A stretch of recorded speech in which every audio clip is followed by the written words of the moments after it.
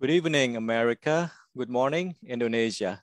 Welcome to Bianca, Bincang Karya, or in English, Creation Talk. This is a multi-stakeholder discussion forum initiated by the Education and Culture Attaché of the Indonesian Embassy in Washington, D.C.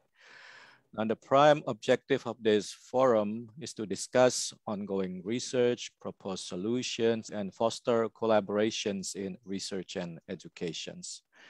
Today's webinar specifically aims to establish direct communications and collaborations in the field of public health, specifically health policy, between higher education institutions in the US and Indonesia and also to increase the number of Indonesians pursuing higher degrees in the US under Indonesian government scholarships such as LPDP, the Indonesian Endowment Fund for Educations under the Ministry of Finance. Before we proceed, allow me to introduce myself. My name is Yodi Mahendra Datta. I'm currently Vice Dean of the Faculty of Medicine, Public Health and Nursing, Universitas Gajah Mada, and also representing the Council of Rector of Indonesian State Universities or MRPTNI, Majelis Rektor Perguruan Tinggi Negeri Indonesia. In today's webinar, we have invited representatives from two leading American universities and two bright Indonesian students who are now pursuing master's degrees in these universities. This webinar will be conducted in English for the first hour and in Indonesian language on the second hour. But before the talk begins, let's see a short video of Bianca.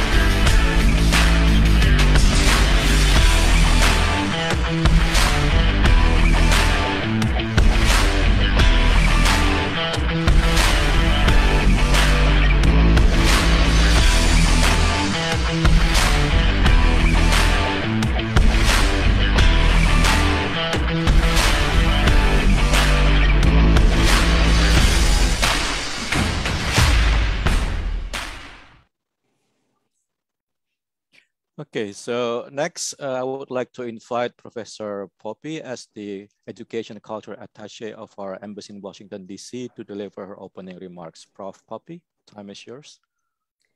Thank you, uh, Dr. Yodi. Uh, as a session chair of this webinar, good evening, America, and good morning, uh, Indonesia. This webinar is hosted uh, in collaboration with the Embassy of the Republic of Indonesia in Washington, D.C., the Indonesian Endowment Fund for Education, or LPDV, of the Ministry of Finance of the Republic of Indonesia, and the Council of Rector of Indonesian State Universities, or MRPTNI, Majelis Rektor Perguruan Tinggi Negeri Indonesia. On behalf of the Charge the Affairs of the Indonesian Embassy in Washington, D.C., Mr. Iwan Freddy Harisusanto would like to thank to all honorable speakers and participants, particularly to the session chair, Dr. Yodi, as a Vice Dean from uh, the Faculty of Medicine, Public Health and Nursing, Universitas uh, Gadjah Mada. And we also would like to thank to the support from uh, the President Director of LPDV, Ministry of Finance, uh, Dr. Andin Hadianto, who is represented by uh, Mr. Agus, who is the Director of Finance from LPDP. And also we would like to thank from the support from uh, Dr. Pagan, the Chair of Department of Public Health Policy and Management, the School of Global Public Health from New York University, and Professor Mary uh, West, uh, the Chair of Master of Public Health Program from Bloomberg School of Public Health John Hopkins University. So we are really honored to have uh, the two speakers from prominent universities where we would like to increase number of Indonesian to study in the US under uh, Indonesian government scholarship. So we really keen how to pass to School of Global Public Health New York University and also to Bloomberg School of Public Health John Hopkins University. So today's webinar hopefully would enhance and also to increase the preference of Indonesian who uh, has planned to study in those two schools. We also would like to thank uh, to New York University and John Hopkins University for having Dr. Roland uh, Pirade as the one of your student at the public health policy and management and also Dr. Dana Putra as one of the student at Master of Public Health at John Hopkins University. So we look forward uh, for having great event and discussion and thank you so much. Thank you, Prof. Poppy, for the opening remarks. Next, we'll have remarks from LPDP. So I would like to invite Bapak Emmanuel Agus Hartono as the Director of Finance for LPDP. Pak Agus, the time is yours. Thank you, Pak Yodi. Uh, good evening, Amerika. Selamat pagi, Indonesia.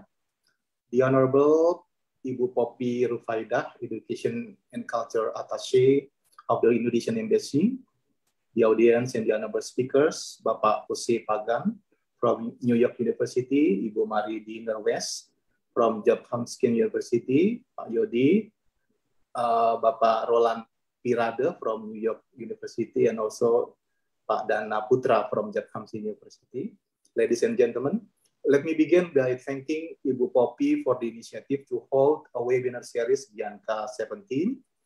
I will also thank to all the speakers for this webinar who have been willing to share their expertise, knowledge, and inspire other Indonesian students.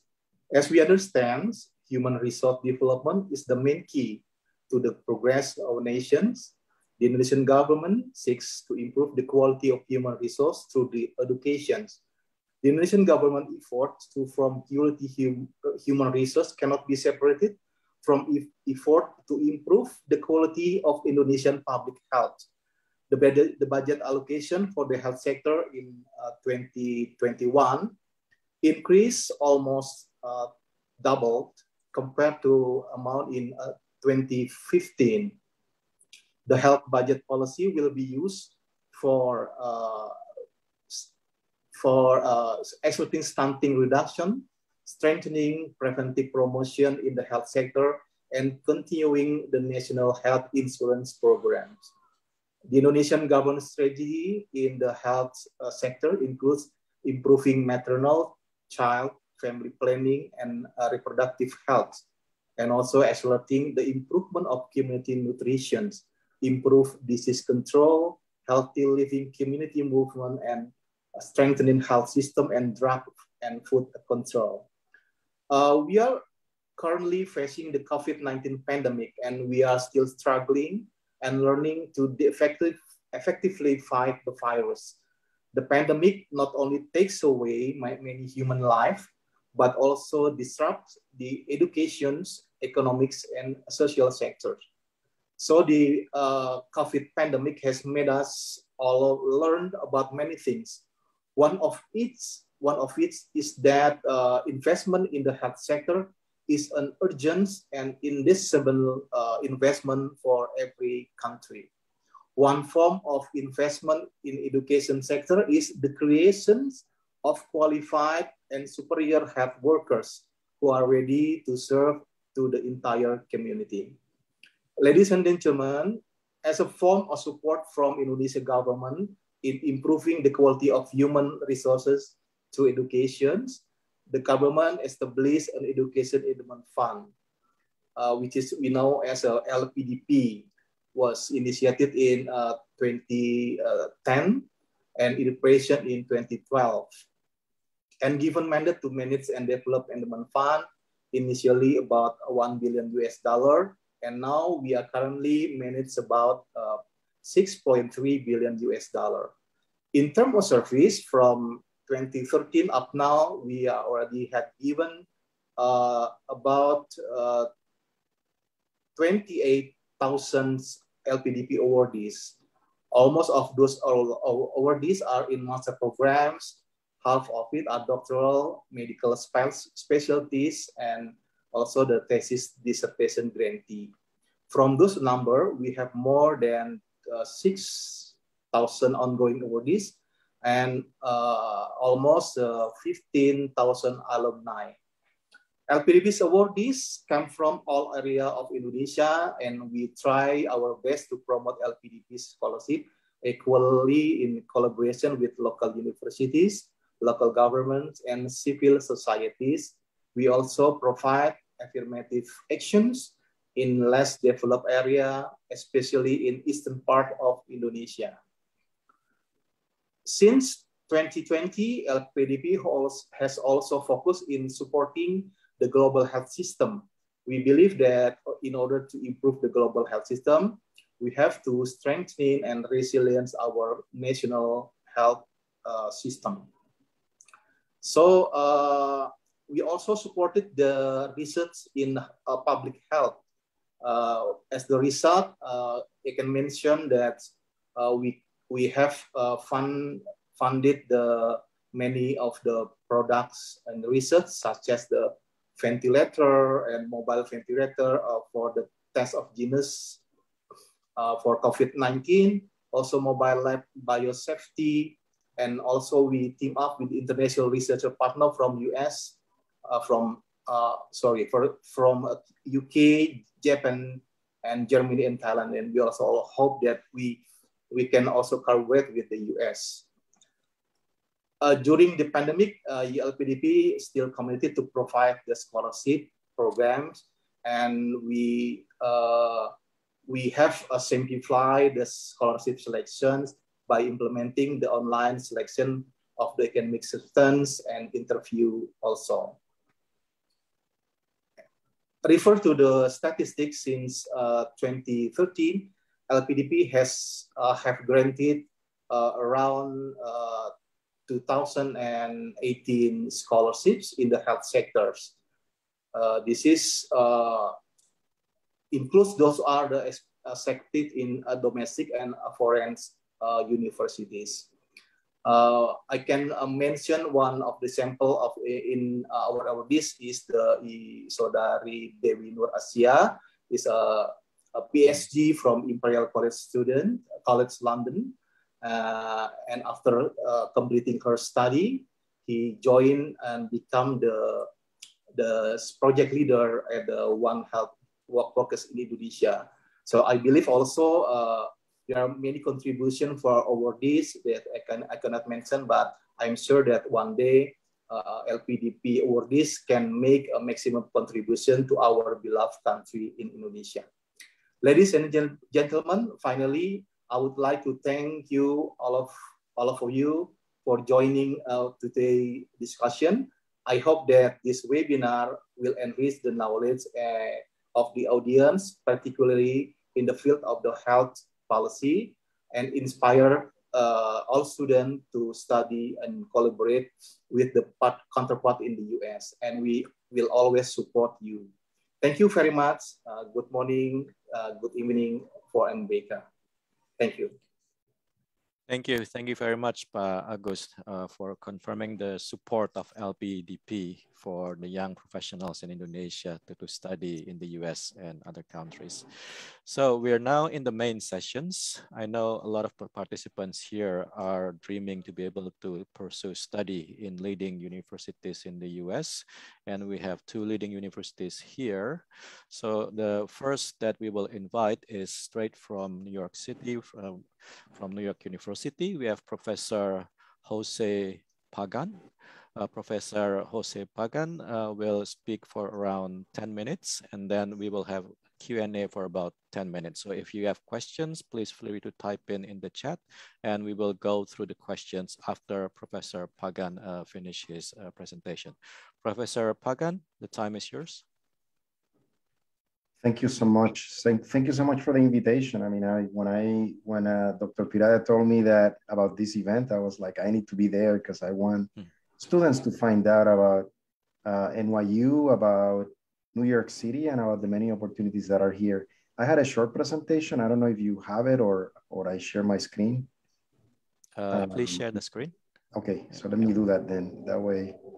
Um, so let me show you something here quickly. Okay. Uh, yeah, we can see it. Can you see it?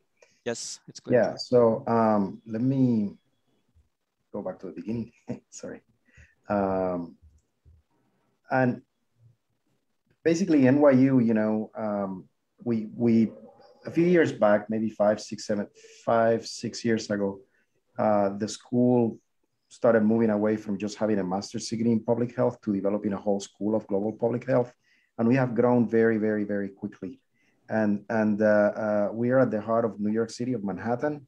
Uh, the picture that you see there is Washington Square. So our school is basically around Washington Square. You may have seen this in movies actually and, and all of that. So, uh, but, and, and what I want to tell you a little bit is a little bit about the school and how, um, how our programs work and the many opportunities that we have to, uh, um, to collaborate and work together, not only in terms of students, but in terms of research opportunities and so on as and we can have a conversation about that.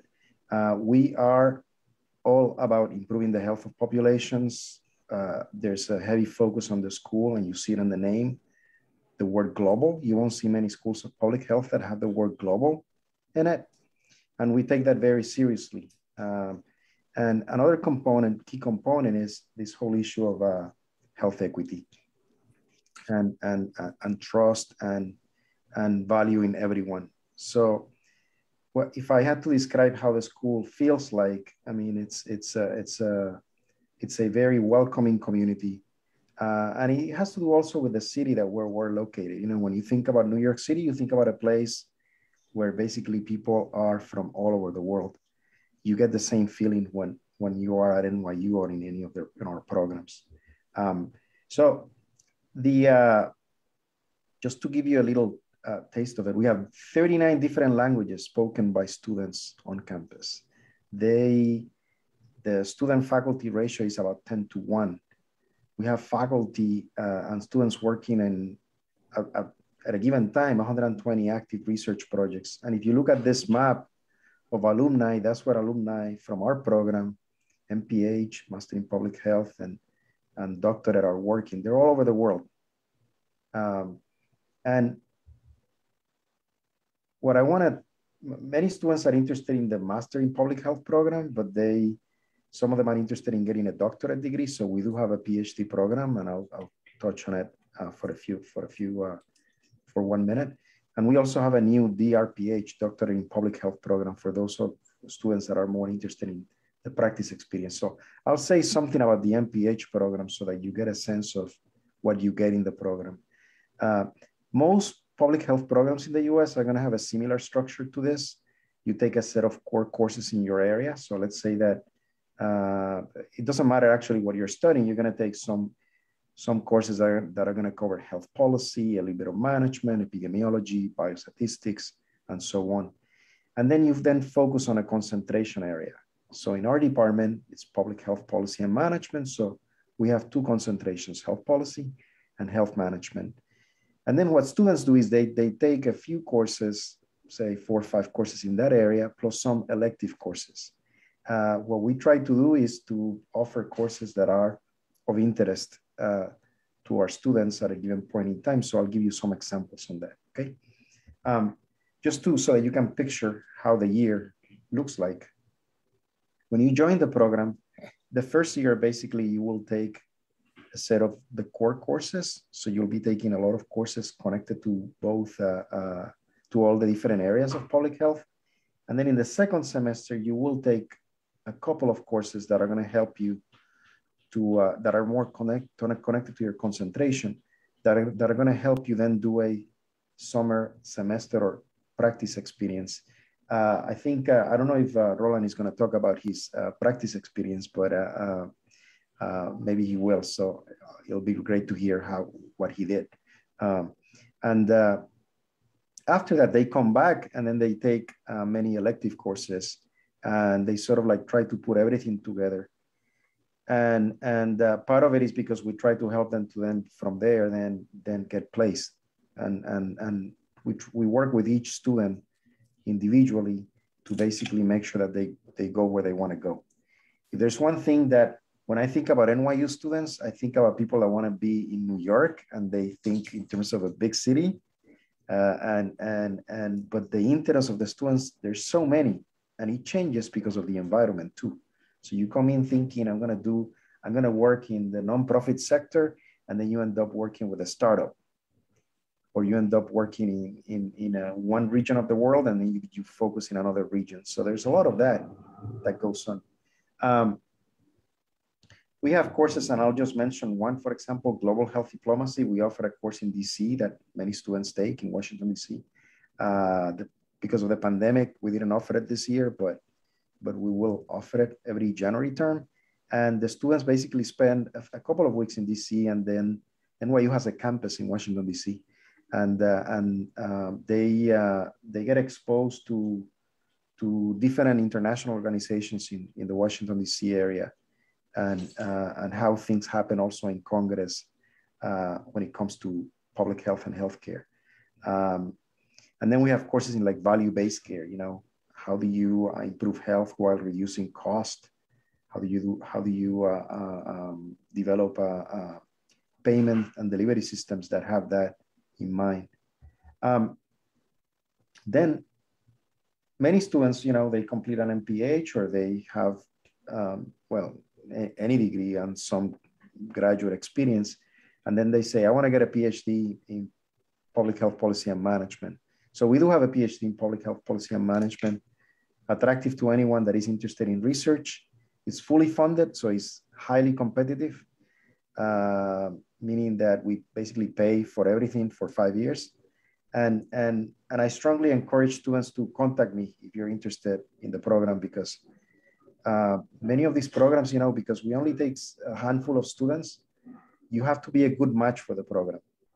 You, you cannot apply and say, I want to do a dissertation on uh, I want to write about this topic. That that works, but it's better if you see if we can help you get where you want to go when you apply.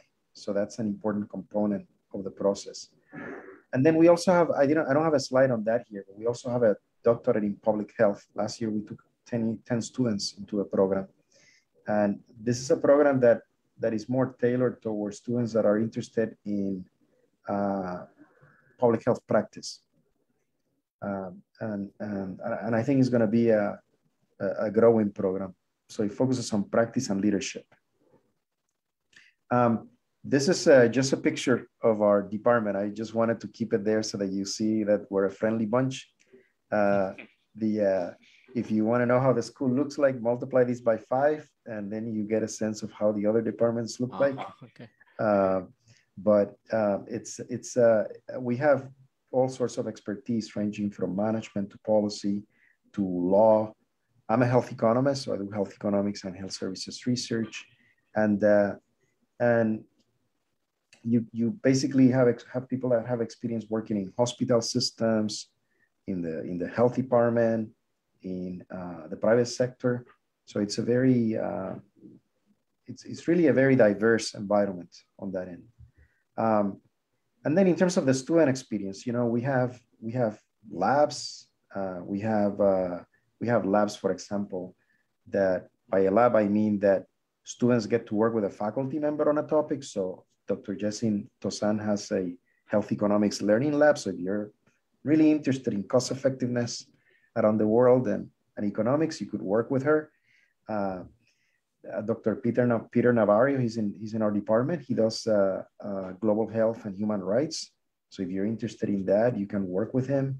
Uh, he has projects all over the world and, and, and you can learn about how to uh, uh, get funding, develop a program, run the program. so it's, this is, these are, labs are a very, very popular way of working for, for students to get exposed to topics beyond the courses that they take. And then professional development. We basically help you get place, help you develop your resume and your sort of like your career in a way that you get place and you're able to go where you want to go. Um, our students get employed, employment rate after 11 months is 94%. They, like I told you, it's it's it's all over the place in terms of uh, some people going to academia, some people going to healthcare organizations, some people going to NGOs, nonprofits, and and all of this happens close two blocks from the first picture I show you. We have a new building at 708 Broadway. This is not the Broadway where mm-hmm. where all the musical stuff happens. It's just a, a few uh, minutes from there, uh, but it is. Uh, it is a great facility where you are able to meet with your classmates, meet with faculty, take courses, and it's all brand new. Uh, unfortunately, with the pandemic, things have we haven't been able to fully utilize the space yet, but it's it's happening slowly. Um, and then in terms of like the the student, many students get worried about like, am I going to be the only one from that? Am I going to feel like isolated if I go there? Well, the answer is that we have students from all over the world. Uh, we have about 25% of our students are uh, international students, and then the rest are really uh, a uh, it's, it's really really diverse when it comes to to ethnic and, and racial background, um, as you can see here. Um, and in terms of how you get exposed to faculty and so on, our, our faculty are very active all over the world. So um, here's here's some examples of our faculty where they their their their work gets uh, mentioned. Um, so not only do they publish in journals and, and are influential in, in that aspect, but they also like to be out there and, and give their opinion on, on different topics. And that makes it a, a very uh, interesting and exciting environment. Uh, uh, and then we have plenty of activities. And I put a slide here of activities that happen, for example, at the school. So we have seminars on different topics. But then you have seminars like this on the whole campus. And then being in New York City, you know, this is a this is a a, a city where there's always something going on. And that's something that I didn't realize. I moved I moved to New York from Texas, and uh, and I didn't realize how uh, how much density mattered like being in a large city like this and, and the level of activity and connections that you can make is just it's just incredible um, so I, I think that covers basically what I wanted to say on the sort of uh, the student side. Then, in terms of faculty collaboration of any type, uh, I'm more than happy to uh, to uh, figure out ways to connect. We have we, we have faculty that do research all over the world. In fact, we have a, I was gonna show you something here that, um, let's see if I have it here. Um, there's a resource here. Um, oops, sorry. This. Um, yeah, if you go to this webpage called nyuscholars.nyu.edu, you can put, I was playing with this and, and you can put in, you can put in like the name of, let's say Indonesia. And then you click search and it'll show you basically which faculty members are doing what in that area. Like, so you're interested in knowing which faculty member is working in a given area, this is a great resource for that. Uh, so for example, Jack Carvanos is in my school. You can click on it and then you'll see Jack and he's, uh, he's doing a, um, work in, in different areas and you can see basically, you can zero in and find out what is he, who is he working with in Indonesia, what is he writing about, what are the topics he's writing about and so on. So highly, highly recommend this tool. Many times when I need to find out who's doing what in a given topic, that's what I use. I just go in there and it, it, it even gives you a, a, uh, a map like this. Let me show you. So if I put in uh, here. Professor Pagan, I'm yes. sorry, but the time is up. Uh, perhaps yep. we can pick it up in the discussion.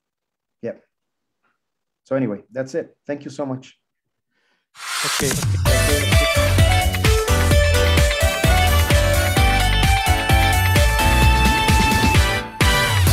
Bianca. Okay. Thank you mm, very much, Prof. Pagan, yeah. for the presentation. So we, we have a short Q&A. Uh, I will invite any of the participants if they would like to uh, put any question in the chat box. But before that, uh, just also to uh, elaborate a bit on what you've presented. I mean, this is a, a leading university, uh, NYU. Could you give more description of how competitive it is to get in the MPH program? How many application you get? How many you receive for the MPH? So I know that, I don't know the exact uh, admission rate. MPH programs are going to be, so that the way most of these programs would work is it's going to be, uh, the admission rate will be I don't know, 50% or some number like that.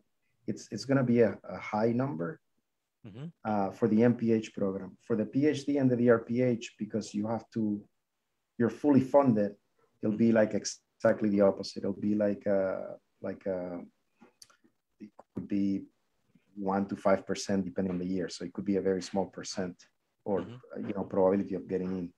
But mm-hmm. what I tell students is they should, they should, uh, um, apply and let the process play out.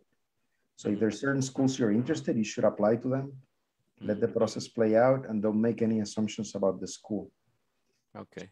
So for the MPH, it's it's not at NYU, it's not hard to get in, but you have to be competitive to get funding scholarships.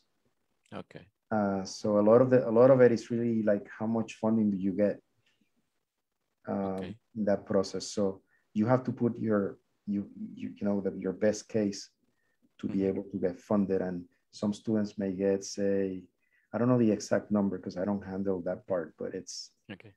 they may get uh, 25% uh, scholarship or it, it, could be half, you know, they may pay half the tuition. So um, then, and then for the PhDs, what I mentioned, you have to mm-hmm. talk to the, um, contact the school. You always have to contact mm-hmm. the school to find out how they they run the program. Okay. But uh, in, in general, what, what do you look for in these prospective students beside, I mean, the match with the project of the PhD? Yeah. What, what, what are the, general the, characteristic? For the PhD or the MPH? Uh, both. Both. Um, for the for the MPH, I mean, I, it's it's they use the term holistic here, you know. So um, it basically you'll be looking at you look at performance on how the student have done and so on but really the the essay that you write why do you want to get an mph mm-hmm. uh, it's it's it's important. Why are you interested in public health? Why? Mm-hmm. what do you want to do after? That that carries a lot of weight. Also letters of recommendation carry some weight. Um, if you get letters from professors that know you or people that know you well in a professional environment, you that will help you more than getting a letter from someone that that uh, doesn't know you well. Mm-hmm. So if you get a letter, get a letter from someone that knows you well that can talk about you, not somebody that you met 10 years ago and you haven't talked to them in 10 years and they don't know what you've been doing. Okay. Or or get it from your doctor when you were a kid, you know, or something like that. uh, because it's it's important that they're able to convey why you want to get a degree, uh, the degree. For the PhD, it's similar, but it you have to. Um, my best advice on that is talk to the director of the program at that school. Some schools they like to have students, potential applicants, talk to faculty. Some don't because they get flooded by many students that want to talk to them or potential students, right? Mm-hmm. But the key issue is that you have to be someone that can work well with a one or two or three faculty members, right? Okay. Because they're making a they're making the school is making an investment on you for four five years, let's say. Mm-hmm. So they they want to make sure you succeed, right? Mm-hmm uh, and they want to make sure you they have a topic they can help you, but they also have projects themselves that they're working on. Mm-hmm. So, for example, we pay everything, but then we ask you to work 20 hours a week with a mm-hmm. faculty member. Mm-hmm. So, if you come in and apply and say that you're interested in something very narrow, you you won't be as attractive as if you if you be, if you're someone that can um, well, it's it's good if you're interested in something very narrow, as long as the other person is interested in you. Does that make sense? Yes.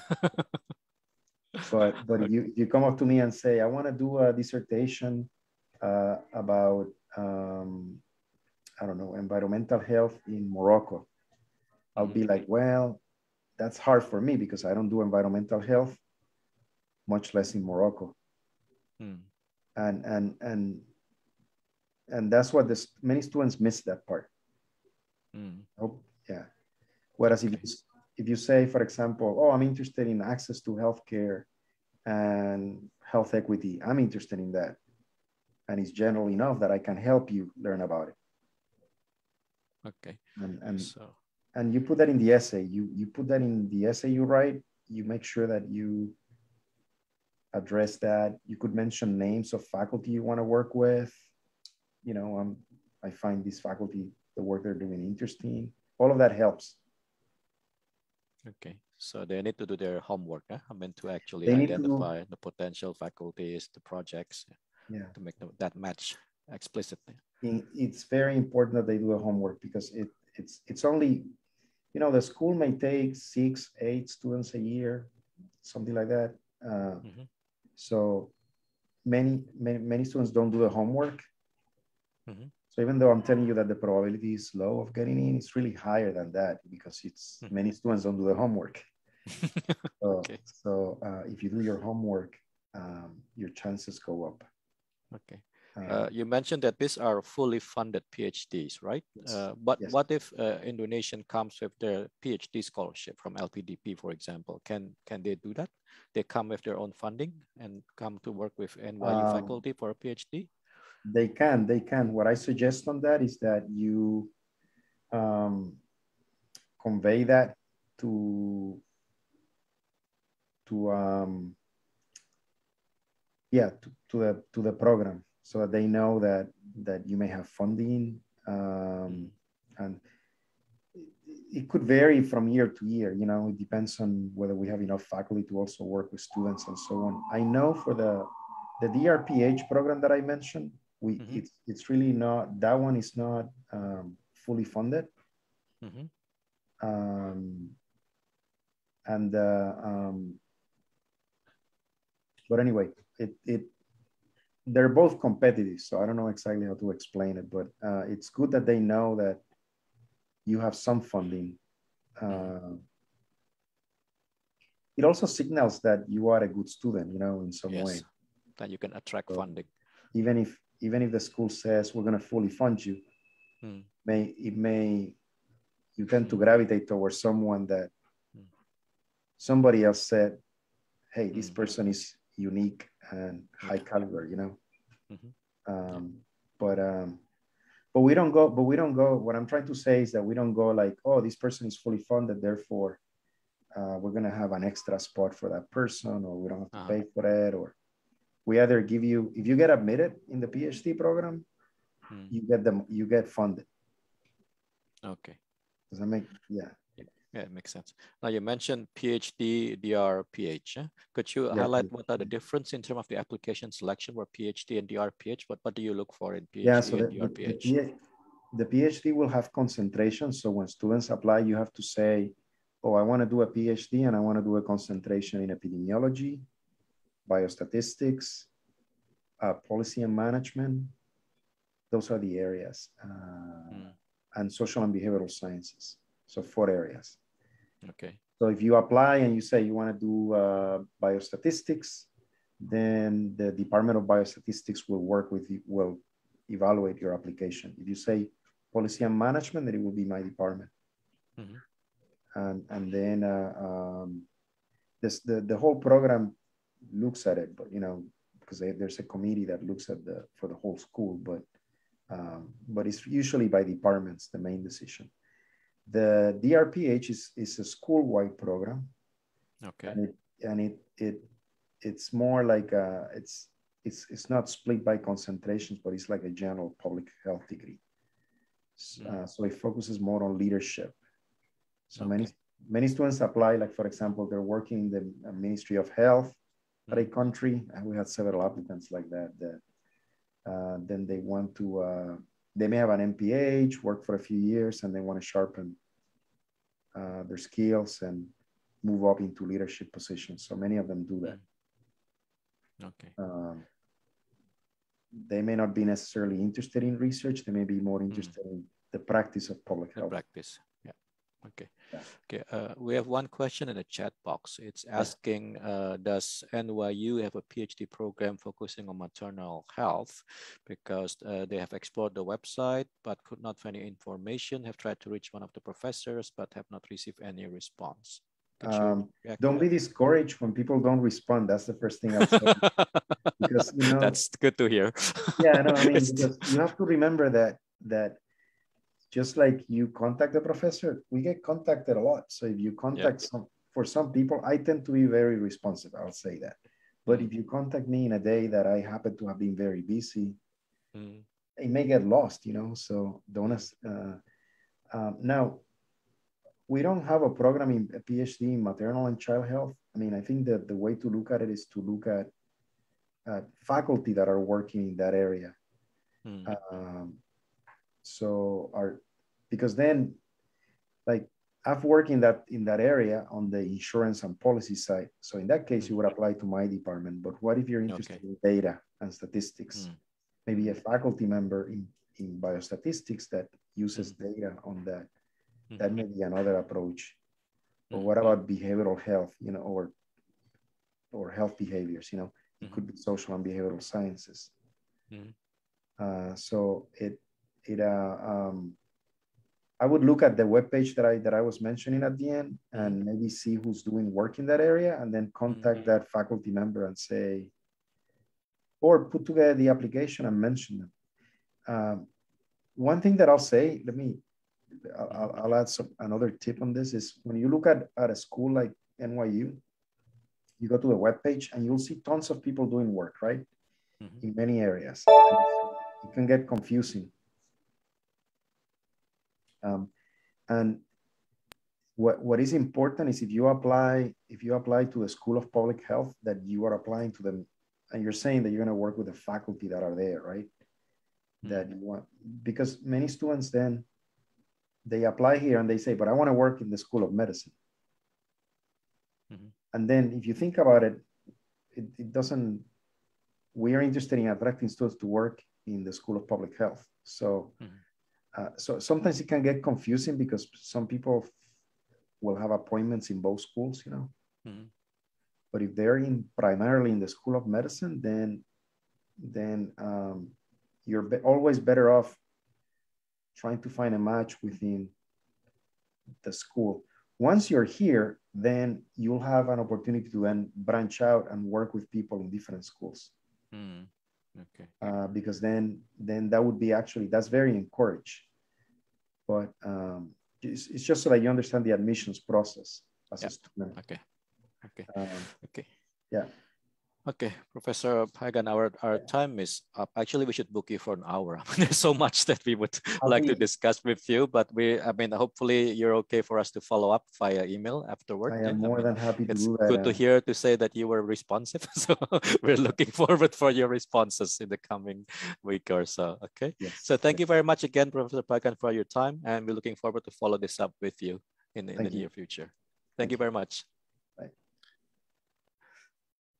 Okay, so that was our uh, conversation, Professor Jose Pagan from NYU. And next, we have the privilege uh, to invite from uh, Bloomberg School of Public Health, John Hopkins University, Professor Mary Diener West. Professor Diener West, uh, are you with us?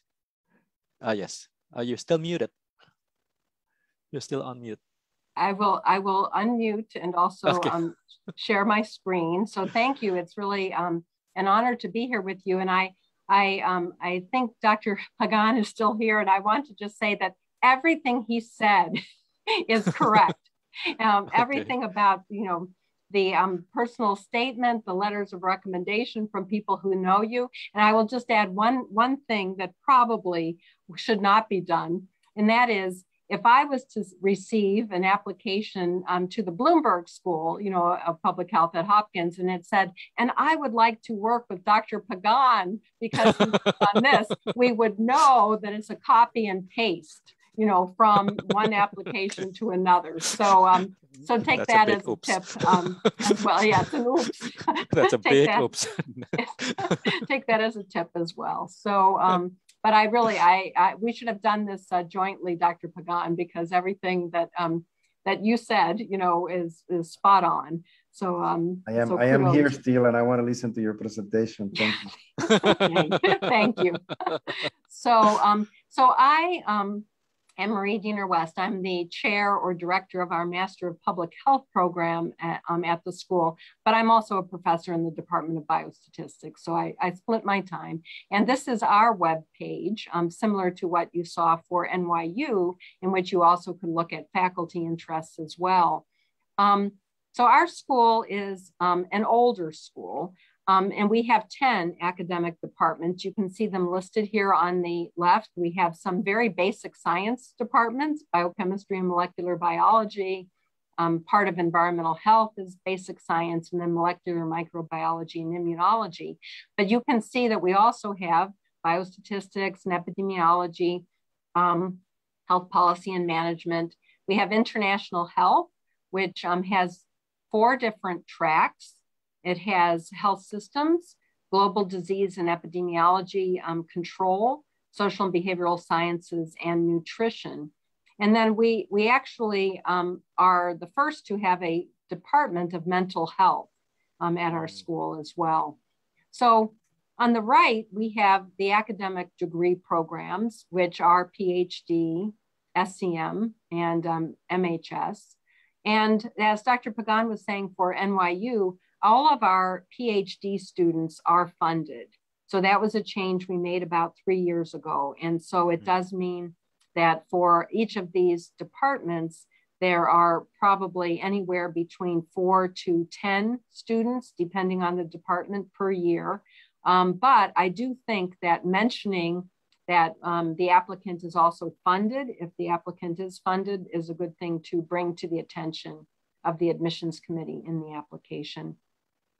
And we also have professional degrees um, as considered by our accrediting body. Um, one is the Master of Science in Public Health. This tends to be a two-year program where students will um, spend the first year learning in classes and the second year in an internship, the whole second year. We have a Master of Health Administration. And then we too have two school-wide degrees. So our MPH falls as a broad umbrella school-wide degree, as well as our DRPH. And both are, um, both are ones that are rigorous, um, but they benefit from each of the, the departments. So, um, so, so I will spend most of my time talking about the MPH program, but I'm happy to also take questions about the others. But our MPH program is a little bit different from some of the others because we require a minimum of two years of health related experience. So um, that means that our students come with, you know, the prior experience and they um, are in an 11 month full-time program. We also have a part-time program, but our, our full-time is 11 months long. And it includes a wide variety of professions. Um, um, physicians and nurses for sure, but also lawyers and social workers and science writers, teachers, social scientists. So it's a broad variety, um, which makes it a very rich um, environment, I believe. Um, I wanted to just show you the diversity. this was an older picture, but this is the front steps of our school. So our school, like NYU, is an urban campus we are right across the street from our School of Medicine as well as our School of Nursing. So we do have relationships with those um, two schools as well. And I'll just briefly mention that it's flexible. Our part-time program is the same, same requirements, same teachers, same uh, everything as our full-time program, but students do have flexibility. They can go from part-time to full-time or full-time to part-time if they, if they wish. Our part-time program can be taken completely online. So for any students who wish to complete an MPH completely online, that can be done and is typically done in about two and a half years. The maximum is four years. And our admissions um, requirements, I came a little bit late because I was coming from a class, but I didn't hear what um, Dr. Pagan had said. But we do require um, letters of reference, personal statement, um, English language skills. We are not requiring standardized test scores anymore, so no GREs are required, but we are looking at academic performance on transcripts. We also, in addition to the two years of health related experience, we require at least one college math and then a biology and another health related science course for two science courses in particular. We also have some combined degree programs. So we have a business school, Carey Business School at Hopkins. So we have a, a dual MPH MBA program. We work with another institution in Baltimore to have a Master of Social Work MPH. We have law students who come to do an MPH between um, usually third and fourth year of law school, medical students who also do an MPH during medical school. And we have a very new um, dual degree Doctor of Nursing Practice um, and MPH. And um, so those are the different kinds of programs we have uh, combined with the, the MPH. And then just, you know, in brief, and I can, if there are questions, I can answer this, but we have curriculum, but we also do require a public health practicum experience working with an organization of um, a student's choice on the order of 100 hours, and then a culminating capstone project that can range from a program plan, a program evaluation, through to a research report um, involving a thorough multivariable data analysis. So just in brief, um, our curriculum is, um, is vast. Half of the curriculum are core courses of which there are choices and half are electives. Students have advisors with whom they plan their course of study. We call it an individualized goals analysis. And we also um, sort of look at these diagrams where students can concentrate in a particular area. That's about a quarter of their credits, but they still have free credits to elect courses of interest to them. Students can also customize, meaning that about half of their credits are picking and choosing courses that fill the gaps that they perceive they, need, they have. And then I won't read these, but you can see there are uh, tw 12 different concentrations and the student who customizes by picking and choosing um, would be considered a, a, generalist. But we do have women's and reproductive health, child and adolescent health, um, and then um, topical areas are um, epidemiology and biostatistics for those who want more research um, involved in their training as well. So those are our concentrations. We also have certificates, which are bundlings of courses they can take as um, electives as well. So um, maybe just a slide on the practicum. It does require that a student identify a community organization or a health department or another organization and work with um, them to deliver some um, set um, goals and, and deliverables. Um, there are surveys, there are evaluations that take place midpoint and at the end, both by the student and their preceptor. So that gives them the opportunity to apply their skills in a very real setting.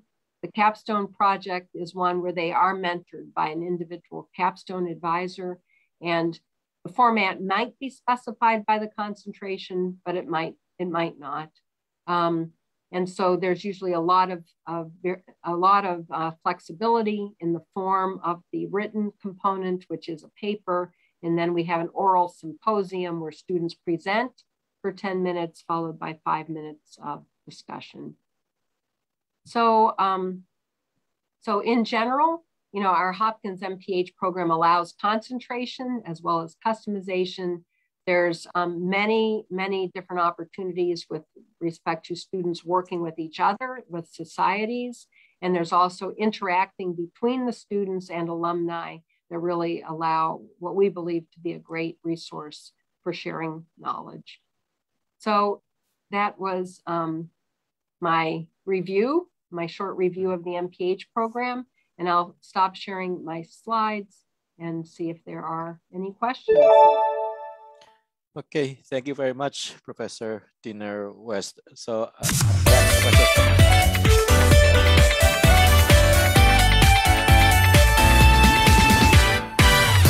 Bianca. Yeah, that was our jingle. It's a theme okay. song. it's a theme song. We have a theme song here. okay, so now we are in the Q&A session. Uh, so Professor Pagan is still here, so it would be interesting also if he would jump in now and then. Uh, to start with, I also asked Professor Pagan in the beginning about the competition to get into the program. So I don't know if you can uh, give us an idea of how competitive it is to get into the MPH program at Hopkins, how many applications you get, how many you take. Perhaps uh, you can say a bit about that. So, you know, so in terms of, um, I would say that we get a lot of applications, both for full-time and part-time. It's it's thousands of applications, thousands. just because we do enroll part-time students three mm. times, you know, during the year. But our admissions, you know, it's not that we only have a 5% admissions rate. You know, we have a, um, you know, I would say we have similarly, you know, sort of a 50% or so, you know, admission rate. But most importantly, and I'll just second Dr. Pagan's um, emphasis on, you know, we really want to see the skills that students bring and, and know that they will succeed. And so, you know, that's why it's so important to have letters of recommendation that are that are supporting the student, as well as a personal statement that indicates they know why they want to be in a particular mm-hmm. degree mm-hmm. program, because we really want to look um, in that holistic way that Dr. Pagan said, you know, at everything to ensure that a student will be successful. Our mm-hmm. PhD programs are just like NYU's. There's very few slots, lots of applications, you know, very few few you know slots because they are funded. Mm-hmm. Okay, and you mentioned our, there were okay. Uh, I was just going to say our MPH and our DRPH have some scholarships, but okay. um, most of our other master's programs do not. Okay. So uh, again, if, if an Indonesian applicants come with a PhD scholarship from Indonesia, uh, how would that be taken in, in Hopkins? Would, would you accept that?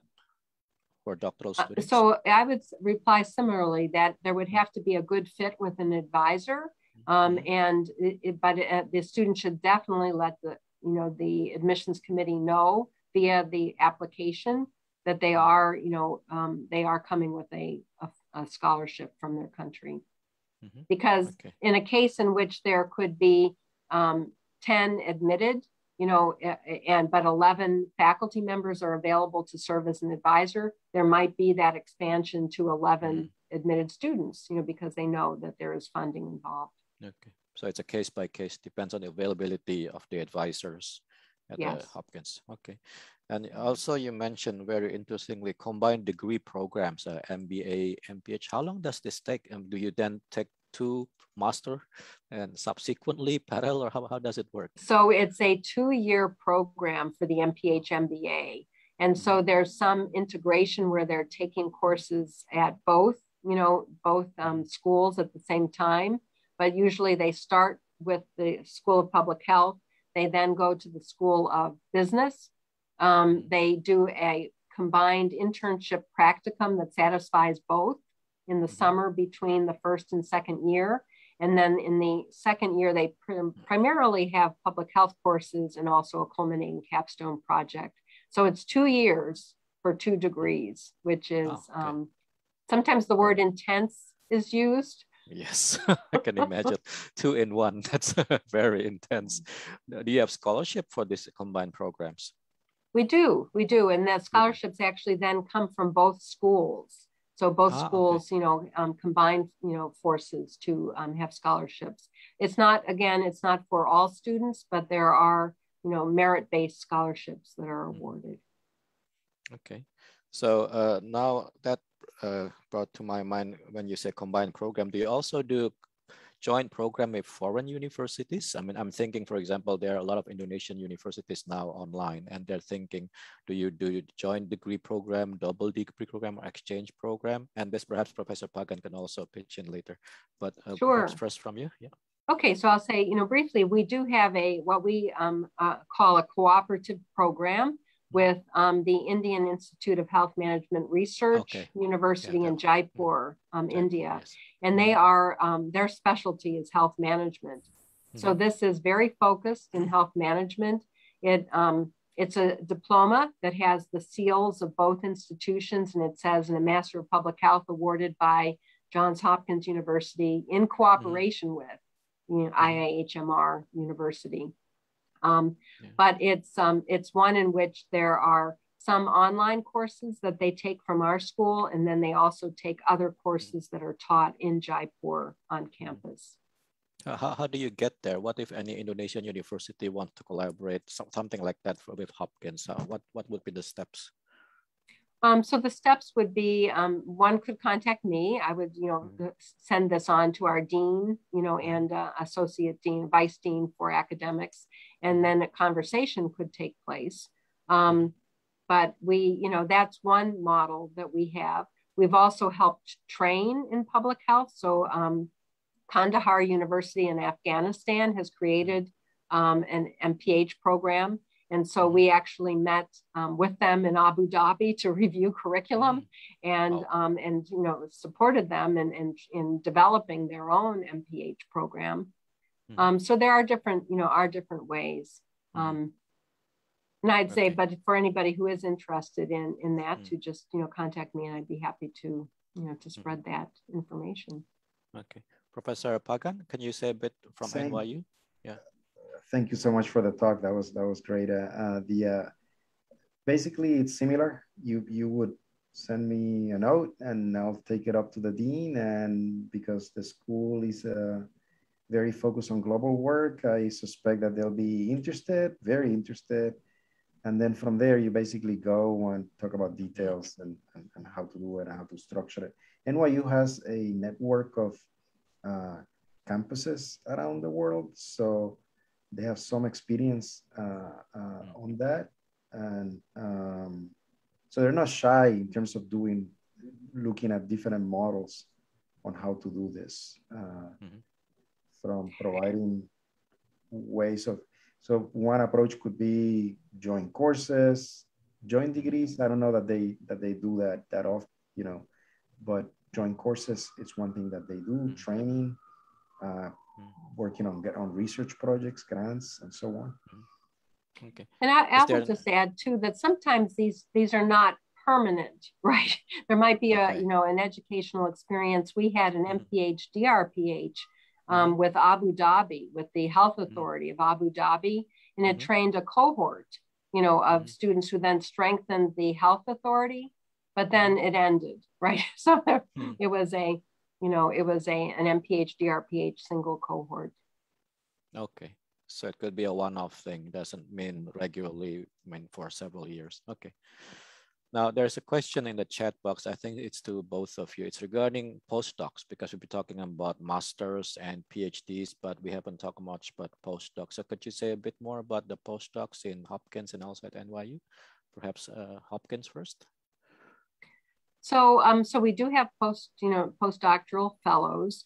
Um, what I have observed mostly for international um, students is that if it, there's a um, possibility of getting the MPH and then staying afterwards for either a research assistantship or research associateship or a postdoctoral fellowship, there are ones that are available. Mm. I have not seen as many postdoctoral fellows who have come directly to departments in the School of Public Health. I've seen mm-hmm. more that have actually gone across our street to the School of mm. Medicine as ah, postdoctoral ah, okay. fellows. Yeah. Okay. Uh, Prof. Pagan, NYU postdocs? It's, it's similar here. What I'll add is that part of the reason of why that happens is because students that are already here, they get to network and they get to meet faculty that have a project and that project basically pays for the postdocs. So we do have this year, we'll have a few postdoctoral appointments that are not connected to grants, to, to, to research funds. So, um, but I, so if anybody's interested on that, they should contact me so that I can find out more about it because they just announced that recently. Um, Okay, so but but there is no formal postdoc at the moment. At... the, at NYU. Yeah. The, the, they are there are, but a lot of it is funded. Like okay. the way that it would work. Let's say that you have money from an organization in Indonesia, and you want to be in the U.S. working with a professor, or you have a project. Then you have to then somebody has to say, okay, I want to host you and and, and pay for you and so on. So. Um, I guess I'm thinking about there like different models how you can do it, but mm. um, the one one thing that that is also interesting and can be done here is visiting appointments for faculty from okay. other universities. Yes. They want to spend yeah. some time with us, mm-hmm. uh, whether they apply through a Fulbright grant mm. or or they their home institution or a foundation has mm-hmm. funding for them. They mm-hmm. it's relatively simple for us at NYU to mm give you space to to to to work um, and and and support that kind of support.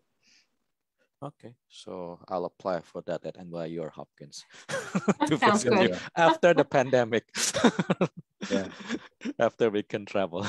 Okay, I've so, just been reminded. Oh, sorry, Professor Dirham, please. Yes. Could, could, I just make one clarification? Um, in terms of the two years of health-related experience that I mentioned for our MPH, mm. it doesn't mm. mean in the U.S. It means just health-related experience wherever okay. you are. Anywhere. I just, okay. yeah, I just wanted to to clarify that. Okay. And uh, do you need any document to prove that? That you are experienced? How, how do you assess that? We, we um, so, so physicians, um, as a matter of, uh, you know, right off the bat are mm. considered to have two years of experience because of their mm. training. But for others who are not physicians, we're looking for, um, we're, we're trusting that their resume and that their letter mm. writers, you know, mm. are, are, um, are truthful. So there's not a, you know, a checking process, but we do, we do rely on, you know, accurate information being portrayed.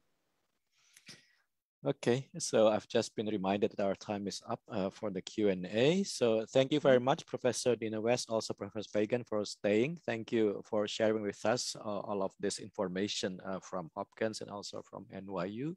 And we're really looking forward to send more students to both schools in the coming years, also more collaboration between our universities in Indonesia with Hopkins and NYU. Thank you again. And you're welcome Great. to stay. Your students are going to present next, but it's going to be in Indonesian. So I don't know if that will be okay. useful, but you're welcome to stay if you want to see how they perform and present. Oh, well, thank you very much for the invitation. And thank you, uh, have, thank have you again.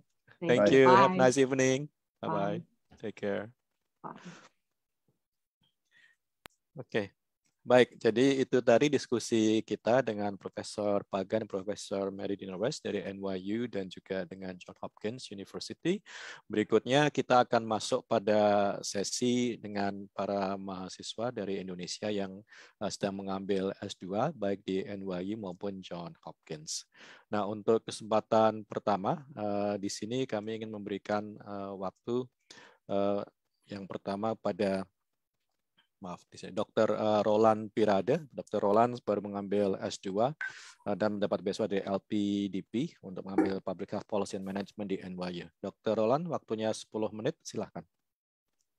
Baik, terima kasih. Um, uh, uh, guru saya, Dr. Yudi Mahendrata, uh, Wakil Dekan FKKM KUGM, Prof. Popi, um, Bapak Ibu dari KBRI Washington, dan juga dari LPDP, saya izin share screen.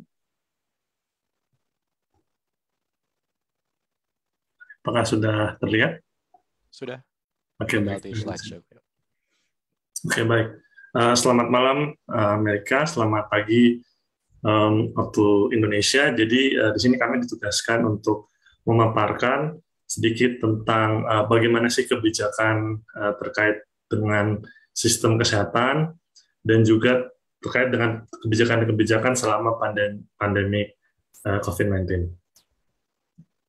Jadi kurang lebih ini yang akan uh, dibahas. Yang pertama ada uh, background, lalu healthcare system secara ringkas, lalu ada COVID-19 case management and communication, lalu ada uh, lesson learned, kira-kira apa yang bisa diadopsi, lalu kesimpulan. Yang pertama adalah um, diverse population, kenapa ini menjadi background yang, uh, menurut uh, kami ini relevan? Karena sama seperti Amerika Indonesia pun terdiri dari uh, background yang beragam, mulai dari suku, agama, uh, pendidikan, tingkat ekonomi, lalu luas wilayah juga uh, sangat luas sehingga um, penanganan atau kebijakan-kebijakan terkait dengan kesehatan uh, beberapa hal bisa kita adopsi dan beberapa hal agak bersinggungan dengan kebijakan-kebijakan di Amerika maupun Indonesia. Lalu selain itu ada juga bagaimana sistem uh, sistem kesehatan mereka sendiri, lalu sistem rujukan berjenjang, meskipun agak sedikit beda dan sistem pembayaran ini juga serupa tapi tak sama. Jadi uh, ada beberapa hal yang uh, sama dan berbeda. Kita akan bahas di ya. Lalu ini yang um, saya kira cukup uh, krusial adalah pelayanan di tingkat primer dan uh, pelayanan uh, equity. Jadi uh, di sini orang-orang banyak menemukan bahwa they love primary care very much. Nah, bagaimana dengan kita di Indonesia? Nah, ini akan kita bahas.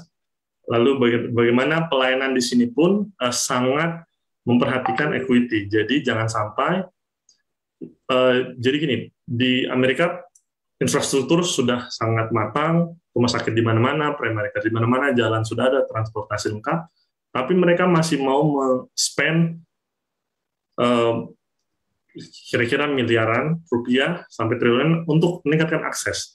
Ketika saya mas awal-awal datang sini, saya berpikir, oh ya apa ya, akses apa yang diperlukan lagi sampai memakan uang segitu banyak. Tapi ketika saya masuk, dipercaya masuk dalam sebuah sistem, di uh, masuk dan internship di salah satu rumah sakit, dipercayakan menjadi salah satu tim terkait hal ini, ternyata uh, equity yang dimaksud adalah supaya orang-orang yang misalnya undocumented immigrants uh, atau mohon maaf kasarnya adalah uh, imigran-imigran ilegal, mereka bisa mengakses tanpa harus takut. Atau orang-orang yang transgender yang misalnya memang badannya maco atau badannya perempuan ini di encourage mereka untuk mengakses kesehatan. Jadi ini salah satu poin uh, penting juga dari uh, sistem kebijakan di Amerika Serikat. Lalu terkait dengan sistem kesehatan sendiri, secara ringkas, mereka memiliki sama public health dan private. Uh, lalu ada for profit dan non-profit insurance. Nah ini salah satu poin penting di sistem kesehatan di Amerika bahwa um, asuransi kesehatan swasta itu sudah terlalu kuat. Jadi kalau di Indonesia mungkin Bapak Ibu yang di sini familiar dengan UHC, Universal Profits, di Amerika ini bukan sesuatu yang terlalu populer gitu untuk diumumkan. Karena mereka tahu sangat sulit karena intervensi swasta sangat kuat sehingga eh, kebijakan-kebijakan uh, pemerintah bisa bilang agak telat atau um, susah untuk penetrasi pasar lagi karena sudah sangat dikuasai. Lalu mereka ada Medicare yang terkait dengan asuransi juga sebenarnya akses ada Medicare dan Medicaid. Kalau uh, Bapak Ibu familiar, Medicare ini untuk masyarakat yang um, yang lansia, lansia dan juga punya di, di, disabilitas. Lalu Medicare ini adalah uh, yang relatif miskin. Meskipun di Medicare ini, Bapak Ibu, um, Medicare ini sistem di mana meskipun sudah lansia, misalnya di atas 70, 65 tahun, misalnya usianya 70 tahun, bukan berarti dia gratis tistis gitu.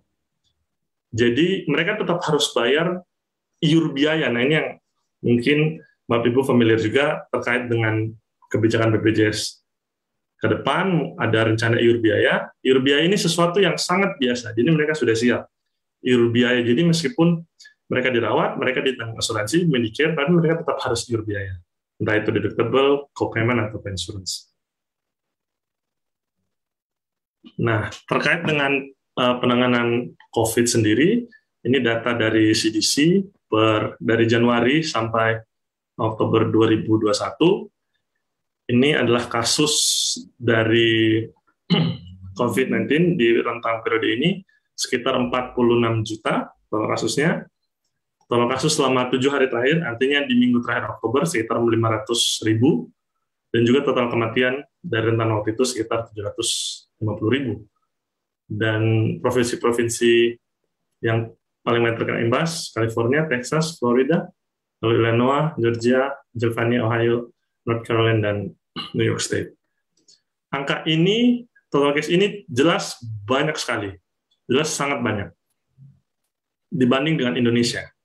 Tapi, dari public health dan kebijakan, kita akan melihat bahwa total tes yang sudah dilakukan itu hampir 700 juta kali.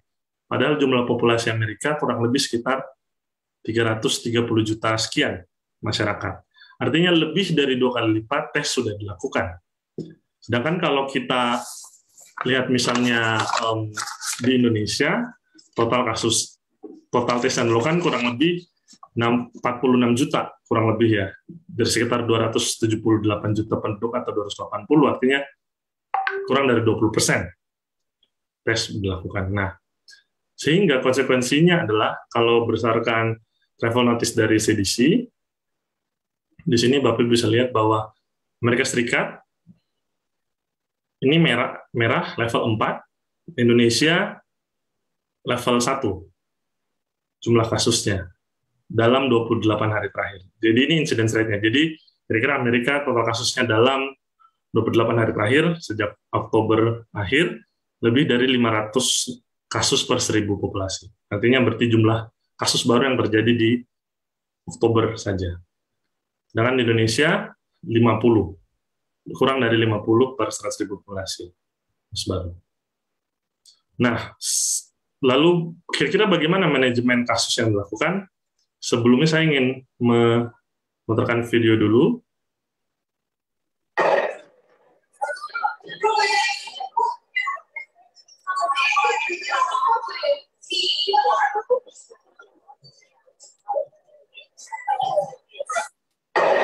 Bapak Ibu ini adalah mimpi kita semua ya, berarti uh, bagaimana di ini ketika saya nonton basket di Barclays Center, Barclays Center itu sekitar 19 ribu, hampir 19 ribu orang full di ruangan tertutup, teriak-teriak tanpa masker.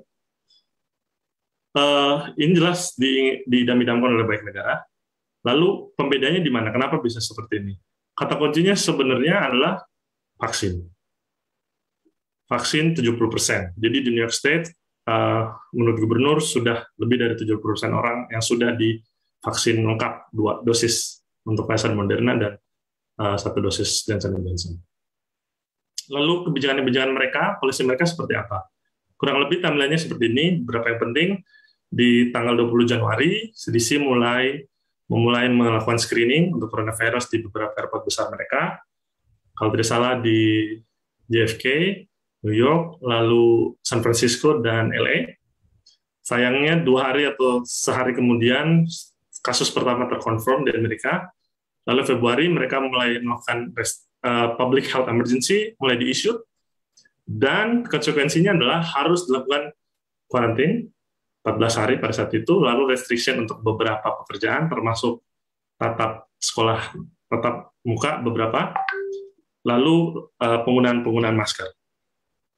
Nah, bulan Maret ini cukup penting, mulai di Presiden Trump mulai mengeluarkan national emergency. Di sini ada konsekuensi logisnya adalah uh, membuka sekian banyak federal budget, billions of dollar untuk penanganan COVID. Ada financial relief, ini kebijakan yang cukup populer di sini, yaitu pemberian money, uang, cash kepada mereka-mereka yang terdampak pekerjaannya karena COVID, tapi sebelum COVID mereka rutin bayar pajak. Dan semakin ke sini, kalau nggak salah yang tanpa bayar pajak pun asal terdaftar, boleh. Lalu ada CARES Act.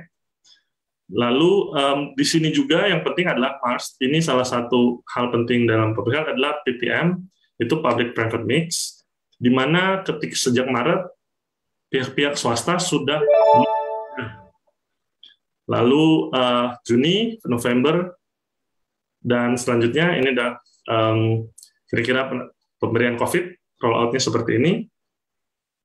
Dan ini adalah beberapa strategi mereka. Saat ini ada insentif 100 dolar untuk yang baru menerima vaksin, vaksin kewajiban untuk vaksin untuk beberapa event, information dan melihat uh, inequities di masyarakat. Ini saya percepat. Maaf, lalu ada beberapa strategi yang bisa diterapkan, itu penguatan providers, terutama primary care, ini penting, tapi waktunya um, terbatas.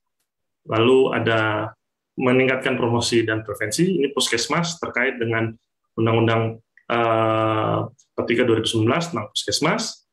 Lalu ada improvement regulation, access and payment system. Lalu yang penting terkait COVID adalah persiapan kita untuk menghadapi outbreaks atau bencana-bencana ke depan. Bisa belajar dari uh, timeline-timeline uh, kebijakan-kebijakan Amerika. Lalu inilah kesimpulan. Uh, masih ada beberapa hal yang bisa kita improve dari sistem kesehatan di Amerika maupun Indonesia, dan juga uh, beberapa COVID-19 related policies yang penting untuk mencegah penularan dan uh, penyebaran penyakit COVID-19.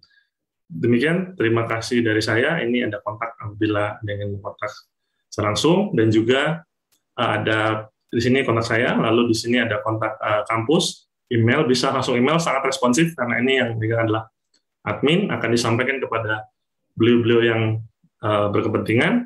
Lalu ini ada website uh, Public Health NYU. Demikian, uh, terima kasih kesempatannya, uh, Dr. Yodi.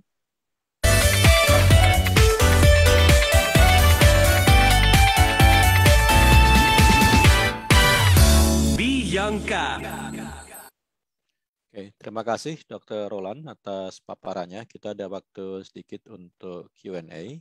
Apabila dari peserta ada yang ingin bertanya, silahkan bisa ditulis di chat box, bisa ditujukan ke Dr. Roland. Sambil menunggu itu, Dr. Roland mungkin bisa cerita dulu perjalanannya, bisa sampai ke NYU dulu ceritanya bagaimana. Tadi belum belum terlalu kelihatan, Dr. Roland. Oke, baik dok. Terima kasih dok. Jadi uh, perjuangan pertama, uh, saya kebetulan uh, di salah satu center juga di UGM. Eh, kita untungnya banyak orang-orang yang sudah S2 dari negeri, penerimaan PDP, dan salah satu hal yang saya ingat saran yang diberikan saya adalah kalau mau cari sekolah, lihat dulu kampusnya. Jadi berdasarkan course-nya, apa yang pengen kamu capai di masa depan, sesuai nggak dengan program yang ditawarkan dari kampus. Saya melakukan search, lalu karena saat itu, atau mungkin sampai sekarang LPDP uh, mewajibkan harus setia. Jadi satu pilihan dari awal harus dikejar sampai akhir. Jadi ketika registrasi saya masukkan nama NYU dari awal sudah riset, sudah dikejar sampai dapat dan justru kesulitannya adalah eh, ketika melakukan registrasi di public health setelah saya di Amerika itu cukup ribet. Kita harus ber, ber apa, berurusan dengan WES WES ini semacam pihak ketiga untuk me, menyetarakan sertifikat apa ijazah dan nilai segala macam. Lalu juga berinteraksi dengan Sopas. Sopas ini pihak ketiga juga. Jadi aplikasi itu harus lewat Sopas dulu baru di review sama kampus. Kemarin ya sebelum pandemi. Jadi seperti itu kira-kira. Lalu daftar LP lalu ya. Gitu. dapat Oke. Okay. Kalau saran untuk ini teman-teman yang ingin apply ke NYU, kira-kira apa tips-tipsnya Pak Roland? Baik, jadi pertama uh, yang paling penting adalah menyiapkan waktu dulu karena prosesnya sangat panjang. Mulai dari minta uh, apa translate ijazah itu kan cukup beberapa lama di kampus, lalu kirim surat kirim surat-surat dengan WES itu hampir sebulan, lalu dengan Sopas itu hampir sebulan karena ada dokumen yang ditolak harus kirim lagi, lalu um, kemarin karena saya daftarnya di akhir tahun tertunda dengan libur-libur tahun. Lalu yang terakhir adalah sudah sebenarnya kalau saya sih sudah tahu mau apa setelah itu. Jadi seperti yang tadi uh, Profesor Pagan dan Profesor Wes sebutkan juga di essay sudah harus jelas mau apa, tujuannya apa. Jadi real, jadi bukan trying to be good, tapi apa adanya. Itu sebenarnya. Mhm, oke. Okay. Dulu kok bisa langsung milih NYU pertimbangannya apa Pak Roland? Kan untuk financing itu banyak sekali pilihannya ya. Ada Harvard, ada Hopkins, ada Yale. Kemudian ini masuk ke NYU. NYU. Baik. Jadi kenapa NYU? Pertama karena course-nya menurut saya dekat, sangat dekat dengan yang saya inginkan. Jadi saya sudah di kepala saya sudah bayang, oh saya mau ini, mau ini, mau ini. Termasuk mau magang di beberapa perusahaan atau rumah sakit. Intinya pengen menjadi bagian dari sistem itu. Ketika saya juga pernah kan di puskesmas di rumah sakit di Indonesia eh, di UGM lalu pengen masuk. Saya lihat NYU punya program yang tadi Profesor Pagan sebutkan ada EPI jadi kita belajar sekian bulan di dalam. Kita menjadi pegawai di situ sebenarnya dikasih kartu email dan segala macam identitas. Uh, lalu uh, New Yorknya juga jujur cukup ya mengundang ya kapan lagi bisa belajar di kampus bergengsi dengan dapat uh, pengalaman New York ya. Oke. Karena setahu saya tidak banyak ya dari Indonesia yang ngambil MPH di NYU.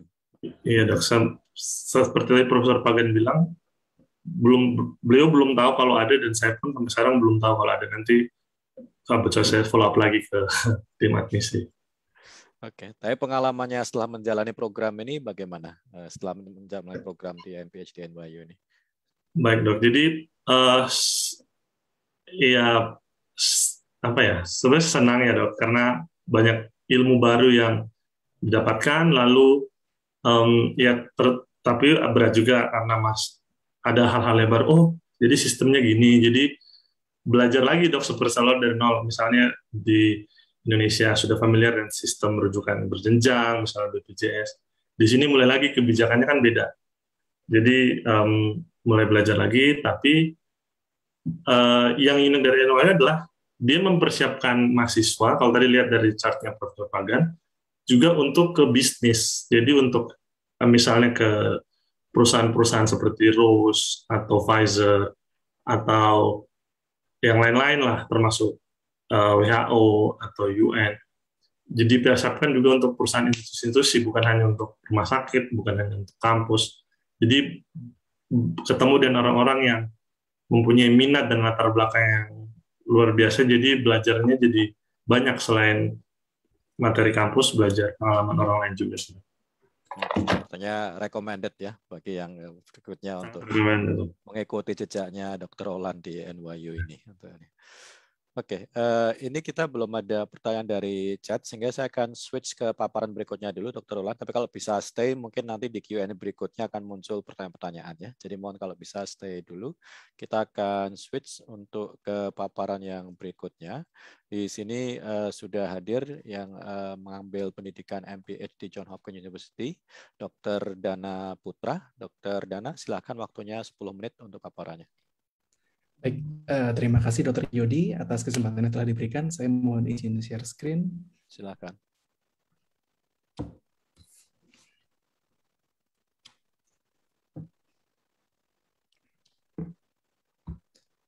Ya, uh, selamat malam dari Amerika dan selamat pagi bagi peserta yang di Indonesia. Sebelumnya saya ingin mengucapkan terima kasih banyak telah diundang untuk mengisi acara Bianca ke-18 kali ini sebuah kehormatan bagi saya bisa berbagi ilmu dengan seluruh peserta yang hadir pada pagi dan malam hari ini. Uh, pada kesempatan kali ini saya akan berbagi tentang apa itu public health secara umum, mengapa saya memutuskan untuk mengambil program MPH dan sedikit overview tentang health security. Uh, yang pertama, kenapa public health? Mengapa saya yang dulu backgroundnya adalah seorang klinisi memilih untuk mengambil public health? Berikut uh, alasan umum orang memilih program studi MPH yang pertama adalah untuk menentukan karir mereka ke depannya. Banyak kesempatan dan peluang kerja yang bisa diambil mulai dari tingkat lokal, nasional, maupun internasional.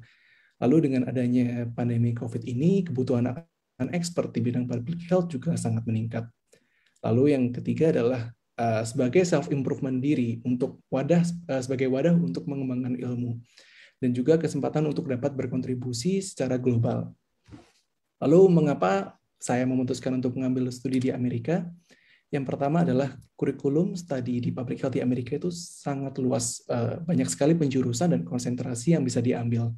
Mungkin gambar dashboard COVID ini sudah sering kita lihat.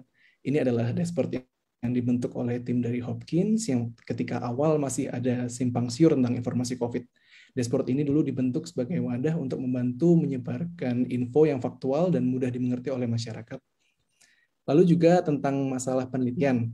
Uh, Universitas di Amerika Serikat menduduki peringkat tertinggi karena penelitian uh, impact dari penelitian tersebut di dunia, mulai dari tentang vaksin, tentang penyakit maupun yang lain-lain. Dan juga banyak sumber daya dari universitas yang mendukung kegiatan pembelajaran kami seperti kerjasama dengan uh, Gates Foundation, kesempatan untuk bisa berkarir di CDC dan lain-lainnya.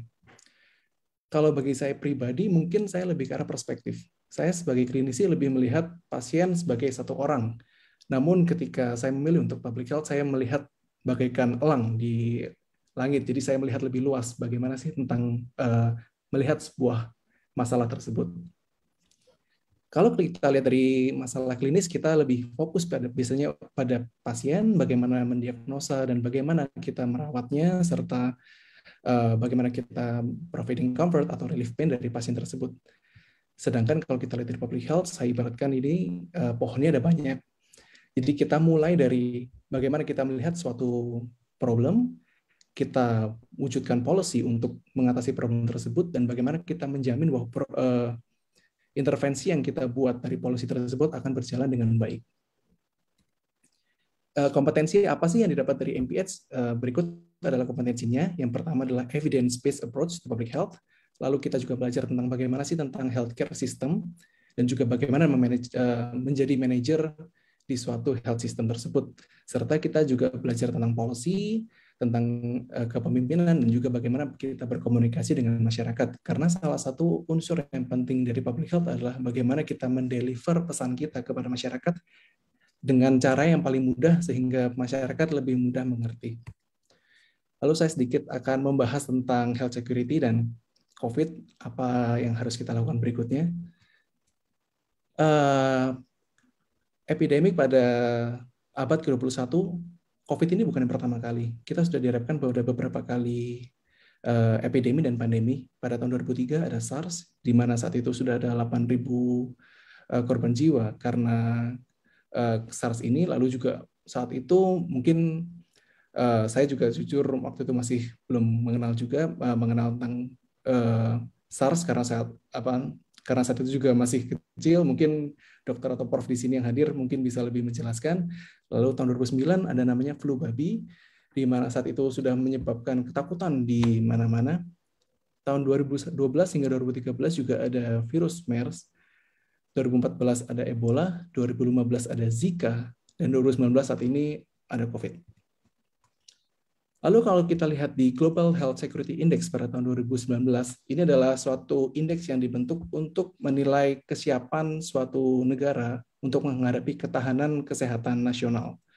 Ada beberapa parameter yang dilihat dari Global Health Security Index ini. Yang pertama adalah bagaimana tentang pencegahan penyakit, bagaimana tentang mendeteksinya dan melaporkannya, lalu respon rapidnya bagaimana, health systemnya bagaimana, dan serta compliance terhadap norma internasional kalau secara umum eh, penilaiannya pada pada saat itu pada tahun 2019 bahwa tidak ada negara yang siap menghadapi pandemi atau epidemi. Jadi rata-rata Global Health Security Index saat itu adalah 40,5 dari 100. Indonesia sendiri waktu uh, skornya lumayan tinggi di atas 50. Indonesia saat itu kekurangannya adalah bagaimana pelaporan serta masalah pada environment di Indonesia. Lalu kalau kita lihat sendiri bagaimana tentang impact dari COVID-19 sendiri, satu tahun setelah uh, pandemi uh, COVID dinyatakan sebagai pandemi, saat ini 50 persen uh, siswa masih masih terdampak karena penutupan sekolah. Investasi pada clean energy yang digaungkan juga sudah sangat menurun. Lalu juga ada poverty Eh, yang sangat meningkat hingga 100 diproyeksikan hingga 135 juta pada tahun 2030.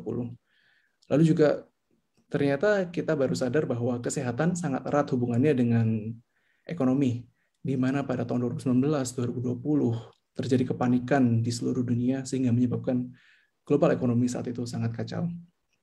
Dan juga eh, dengan COVID, pandemi COVID ini, ada bukti bahwa konsep dari Global Health Index tersebut tidak sepenuhnya benar karena uh, tidak bisa menjelaskan bagaimana negara-negara yang di, dikatakan sudah siap juga ternyata masih kelimpungan dalam menghadapi COVID, pandemi COVID ini.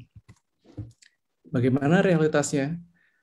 Banyak negara-negara yang saat COVID lebih mementingkan negaranya sendiri. Contohnya sendiri sebagai Amerika Serikat, di mana mereka lebih mementingkan warganya, nasionalis, eh, nasionalis mereka sangat nasionalis saat kala itu, di mana semua stok vaksin mereka uh, tujukan kepada rakyatnya sendiri. Lalu uh, pandemi COVID ini juga semakin menunjukkan bahwa krisis-krisis yang terjadi seperti krisis ekonomi, krisis public health maupun krisis sosial semakin terlihat dampak nyatanya saat terjadi COVID ini. Lalu bagaimana eh, langkah yang diambil oleh pemerintah Indonesia? Sampai tanggal 9 November, eh, upaya vaksinasi dari pemerintah Indonesia sudah mencapai 60% pada dosis pertama dan 38% pada dosis kedua. Hal ini merupakan capaian yang cukup mengembirakan karena kita termasuk salah satu dari lima negara utama yang jumlah vaksinnya terbanyak di dunia.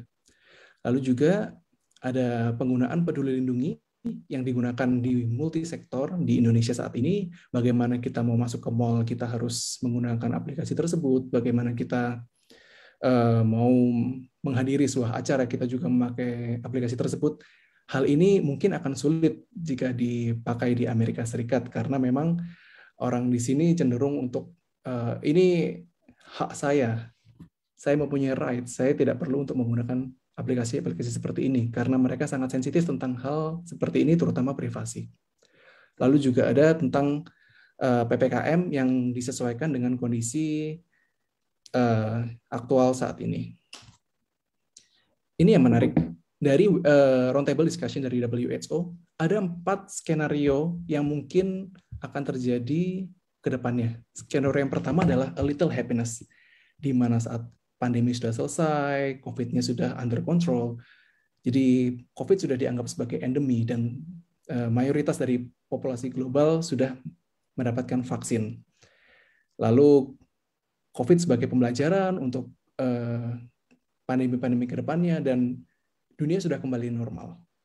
Skenario kedua yang di, yang dipropos adalah I love you but I hate you. Di mana setelah lima tahun setelah COVID ini berjalan, virusnya tetap masih ada, tapi kita hidup berdampingan dengan virus tersebut, tapi tetap ada dampak pada healthcare system, pada ekonomi, dan pada environment, namun, namun hal ini akan berangsur pulih. Skenario yang ketiga adalah heartbreak hotel, di mana virus di sini Eh, berevolusi semakin infeksius, lalu juga berbagai negara uh, memiliki kebijakannya masing-masing. Jadi tersini terjadi uh, tidak tidak ada satu suara dalam uh, panggung global. Jadi masing-masing negara memiliki keputusannya sendiri-sendiri. Mereka uh, peduli pada rakyat sendiri-sendiri dan tidak ada upaya global yang secara bersama-sama untuk mengatasi COVID, mengatasi pandemi ini. Lalu skenario keempat adalah here comes trouble di mana akan adanya double double double pandemi di mana mungkin juga ada pandemik yang emerge. Jadi akan ada burden of double pandemic. Di sini kita tidak harapkan terjadi karena di sini akan semuanya akan kacau. Lalu apa sih yang bisa kita ambil dari COVID ini? Dari COVID ini kita belajar bahwa kita perlu investasi pada health security, untuk menjamin ekonomi dan juga ketahanan nasional. Lalu yang kedua juga uh, harus adanya satu suara dari dari world leaders dari masing-masing pemimpin dunia untuk memulai masa transisi kita untuk dap untuk dapat mengantisipasi pandemi berikutnya. Lalu yang ketiga juga ada harus adanya strengthen pada global governance yang mengutamakan transparan dan juga akuntabilitas dan keempat adalah advanced health equity atau mengutamakan health equity. Ini adalah quote yang paling saya suka dari public health, di mana ketika public health itu berhasil, maka tidak akan ada apa-apa. Hal ini yang uh, sangat sulit diterima bagi masyarakat. Apa indikatornya kamu sukses? Gitu. Biasanya orang-orang lebih karena saya capaiannya ini, ini, ini. Namun di public health, ketika public health berhasil, tidak akan terjadi apa-apa di masyarakat. Sekian uh, presentasi dari saya. Saya kembalikan ke moderator. Terima kasih. Terima kasih.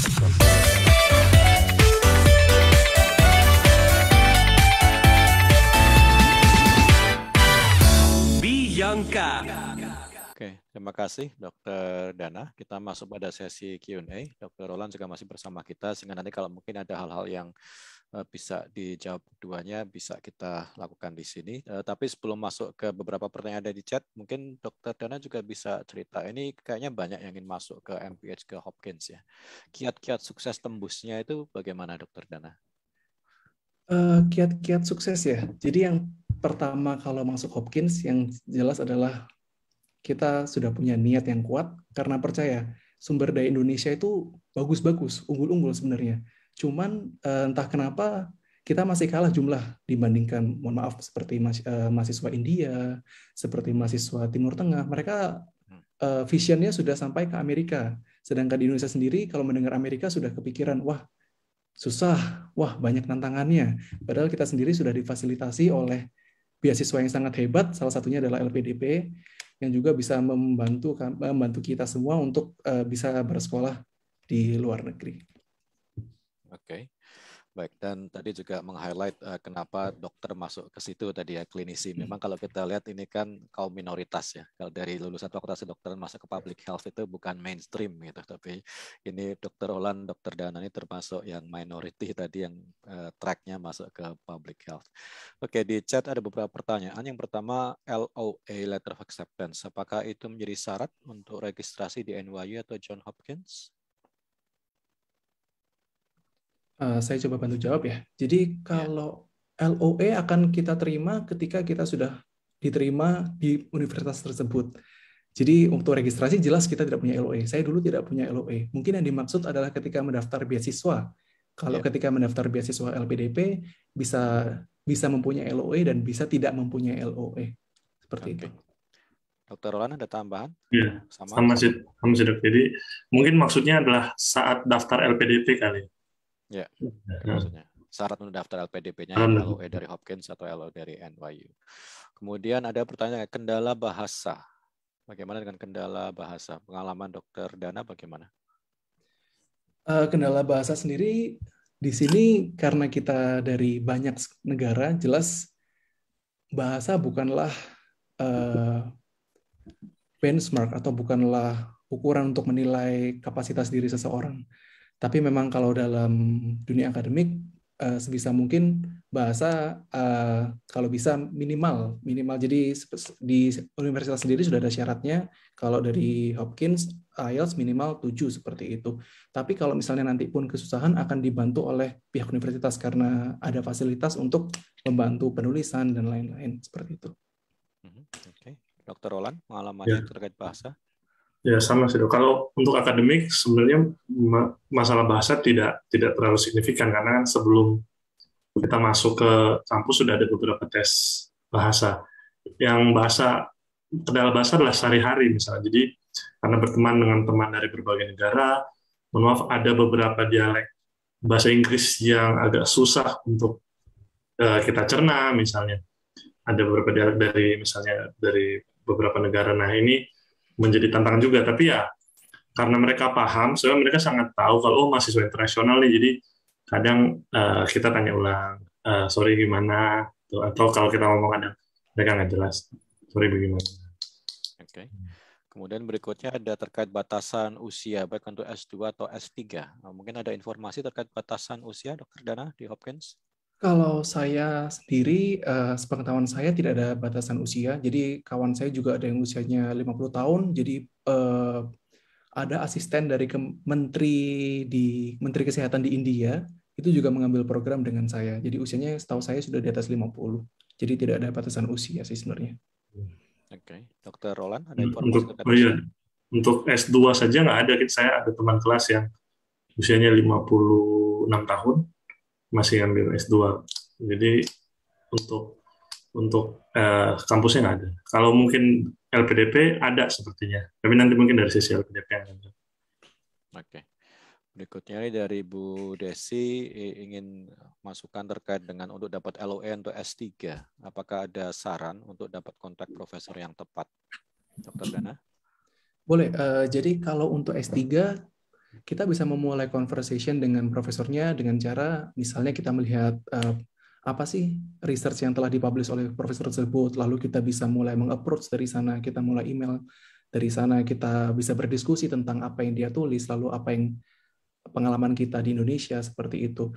Uh, jujur kalau untuk komunikasi di sini seperti tidak ada batasnya. Jadi saya bisa meng-email profesor dengan gelar tertinggi setinggi apa pun dia akan dengan senang hati membalasnya.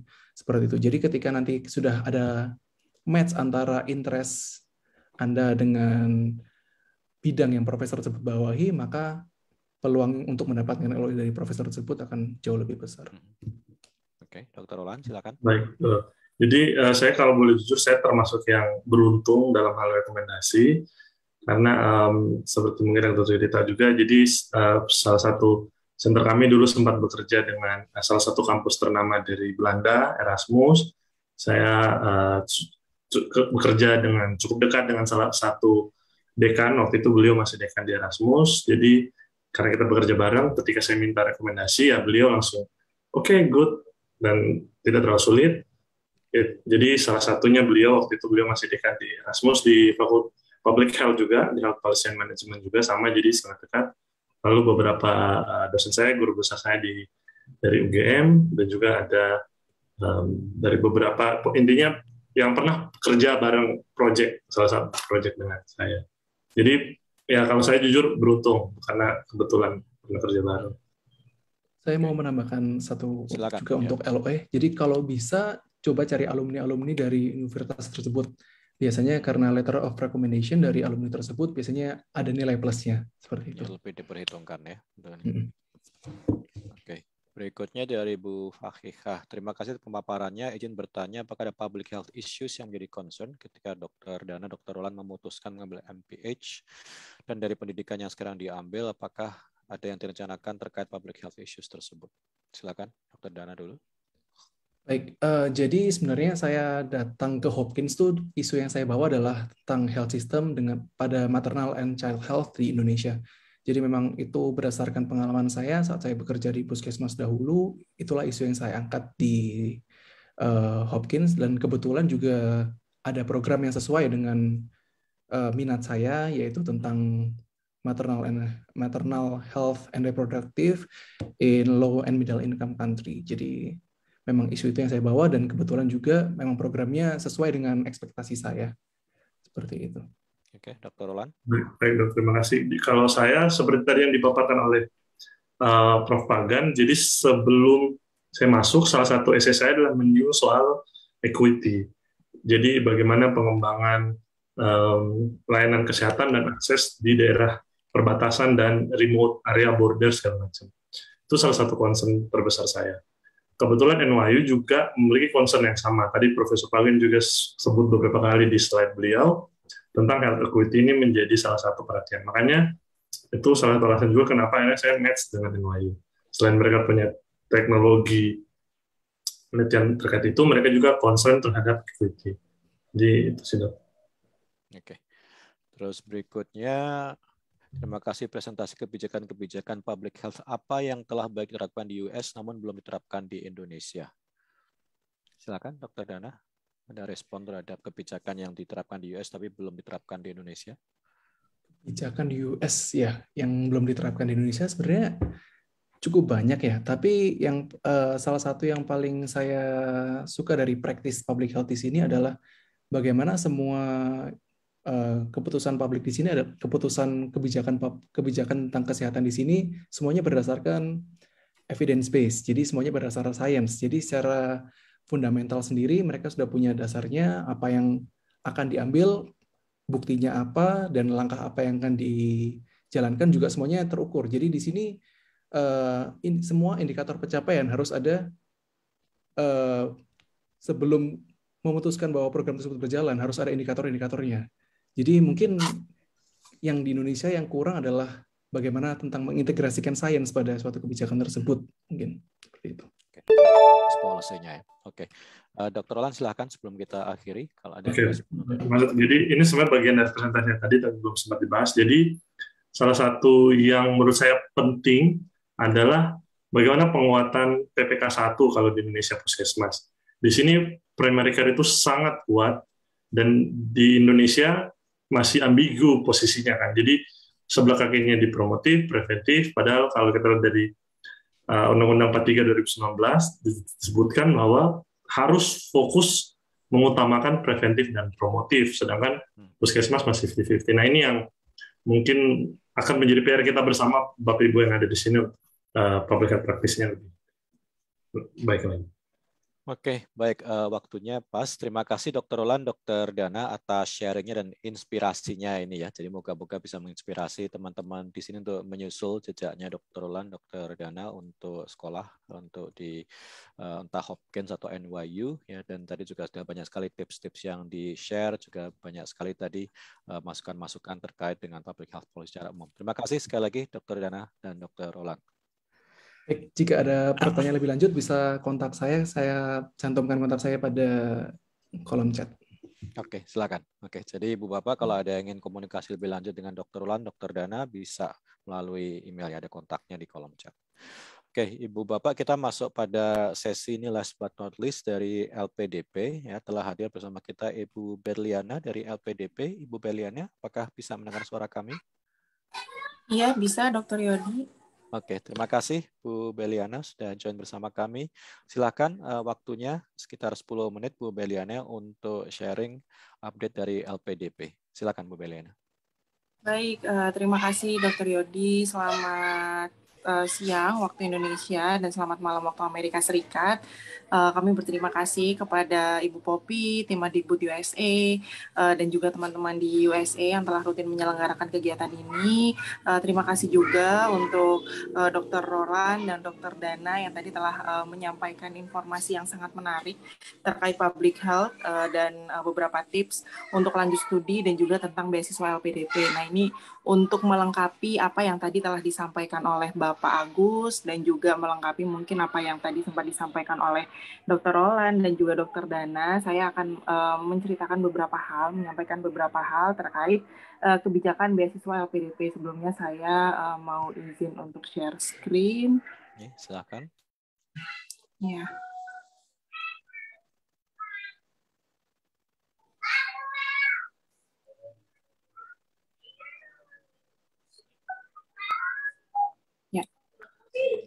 apakah sudah terlihat? Sudah. Sudah. Ya, baik. Jadi uh, di LPDP ini kita in, kita memiliki beberapa program layanan. Salah satu program layanan kita yang banyak diketahui oleh masyarakat adalah beasiswa. Namun yang sebenarnya menjadi jantung LPDP ini adalah dana abadi pendidikan yang sudah diberikan oleh pemerintah dari tahun 2010 dan secara bertahap diberikan sampai sekarang uh, dari dana abadi ini yang membedakan LPDP dengan institusi uh, pemerintah lainnya, kita uh, diberikan dana abadi uh, dan dana tersebut sama sekali tidak boleh dipakai. Yang boleh kita pakai adalah hanya hasil investasinya. Jadi dana tersebut kita investasikan, hasil investasinya yang kita pergunakan untuk memberikan uh, pendanaan beasiswa dan juga pendanaan riset uh, dan dari uh, hasil investasi itu pun uh, tidak tidak boleh langsung dihabiskan ada beberapa bagian yang harus uh, di, ditambahkan ke pokok supaya uh, nilainya tetap tetap terjaga dan program ini terus sustain ke depan.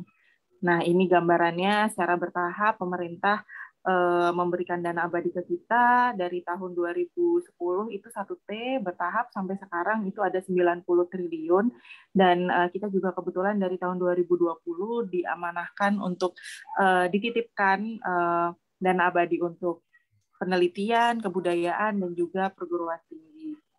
Lalu untuk uh, hingga saat ini jumlah penerima beasiswa LPDP sudah hampir 28.000 orang yang sedang studi ongoing ada enam ribuan orang dan uh, yang sudah menjadi alumni ada hampir 14 ribu orang. Dan uh, dari tahun 2020 juga LPDP berkolaborasi dengan Kemdikbudristek untuk uh, memberikan pendanaan dari yang sifatnya degree maupun non degree terutama untuk mendukung teman-teman yang dalam kondisi pandemi ya seperti ada program kampus mengajar, uh, dan beberapa program lainnya yang saat ini jumlah penerimanya sudah ada 28.000 orang.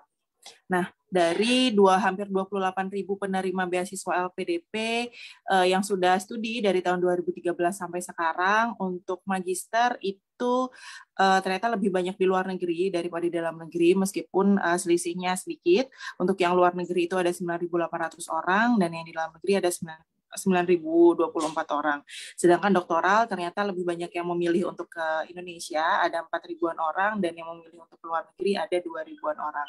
Dan dulu juga kita uh, memberikan pendanaan untuk program tesis dan disertasi, dan kita juga memberikan pendanaan program uh, dokter spesialis. Nah, yang dokter spesialis ini memang di tahun ini masih belum dibuka, kami uh, bekerja sama juga dengan Kementerian Kesehatan. Mudah-mudahan dalam waktu dekat uh, atau tahun depan kami dapat uh, buka kembali program ini. Nah, ini untuk uh, sebaran penerimanya saat ini memang uh, di daerah luar Jawa itu masih masih masih sedikit uh, belum sebanyak di Jawa tapi sebenarnya kalau misalkan kita bandingkan dengan uh, jumlah penduduk dan juga jumlah lulusan S1 dari sana itu sebenarnya uh, cukup berimbang uh, antara antara antar berbagai daerah. Tapi uh, kita juga tidak menutup mata bahwa memang kita perlu mendorong teman-teman yang ada di daerah afirmasi, daerah-daerah luar Jawa, atau teman-teman yang uh, less privilege seperti uh, teman-teman yang prasejahtera untuk mendapat kesempatan yang sama untuk studi di LPDP. Oleh karena itu kita memberikan pendanaan berupa beasiswa afirmasi. Nah, afirmasi ini ada uh, untuk teman-teman uh, disabilitas, untuk prasejahtera, ada juga untuk uh, daerah afirmasi. Ini supaya uh, di di beberapa persyaratan kita mudahkan persyaratannya supaya mereka punya kesempatan yang sama dengan teman-teman uh, yang yang mungkin akses pendidikan dan akses informasinya lebih baik yang di kota-kota besar seperti itu. Nah ini untuk saat ini jumlah penerima beasiswa LPDP memang paling banyak di Indonesia. Uh, ada beberapa pertimbangan juga kemarin ada beberapa teman-teman yang defa karena kondisi pandemi dan uh, memang dalam uh, beberapa tahun terakhir itu uh, kami juga mendorong teman-teman supaya uh, dapat kuliah di dalam negeri supaya kampus-kampus dalam negeri juga dapat uh, semakin semakin ya semakin semakin baik juga kualitasnya. Nah, ini untuk uh, studi public health uh, selain Dr. Roland dan dan Dr. Dana tadi ada uh, total 590 award di kita dari tahun 2013 sampai 2021 yang uh, studi di public health itu ada 2,1 persen. Untuk yang lanjut di doktoral itu ada 116 dan untuk yang di magister ada 392. Dan untuk public health ternyata lebih banyak yang memilih di luar negeri ada 78 persen. Uh, ini intake studinya bisa kita lihat di sini paling banyak itu di tahun 2016 ada 131 orang yang lanjut studi di bidang public health. Nah ini untuk sebaran uh, kampusnya untuk di uh, negara paling favorit untuk uh, public health adalah uh, Inggris, itu ada 132 orang. Kemudian disusul uh, di luar Indonesia ya, lalu disusul Australia dan USA ada 35 orang.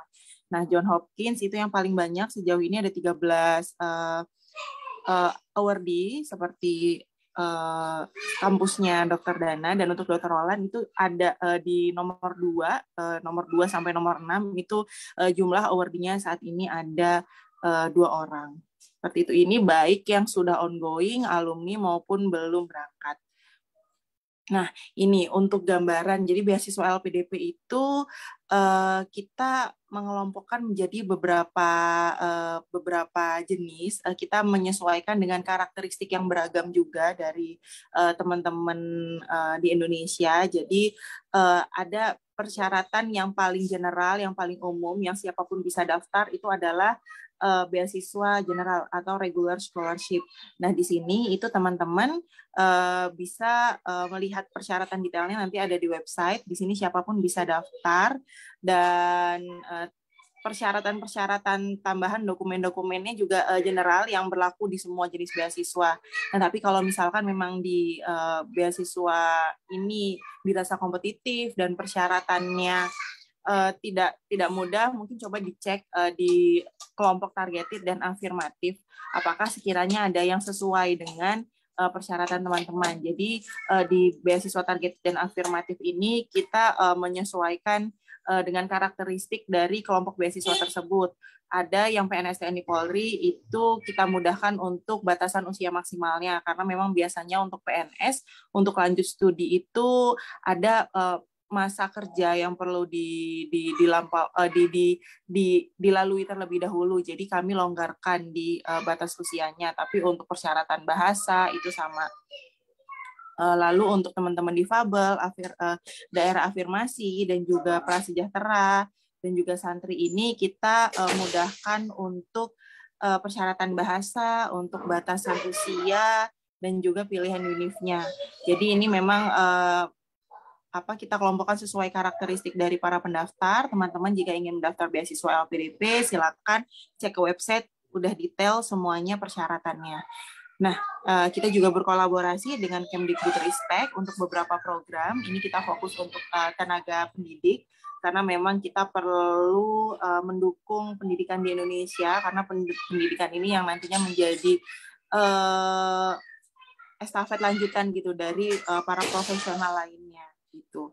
Lalu untuk uh, eh, LPDP, kalau misalkan teman-teman menjadi awardee, apa saja sih yang didanai? Jadi LPDP ini merupakan full scholarship.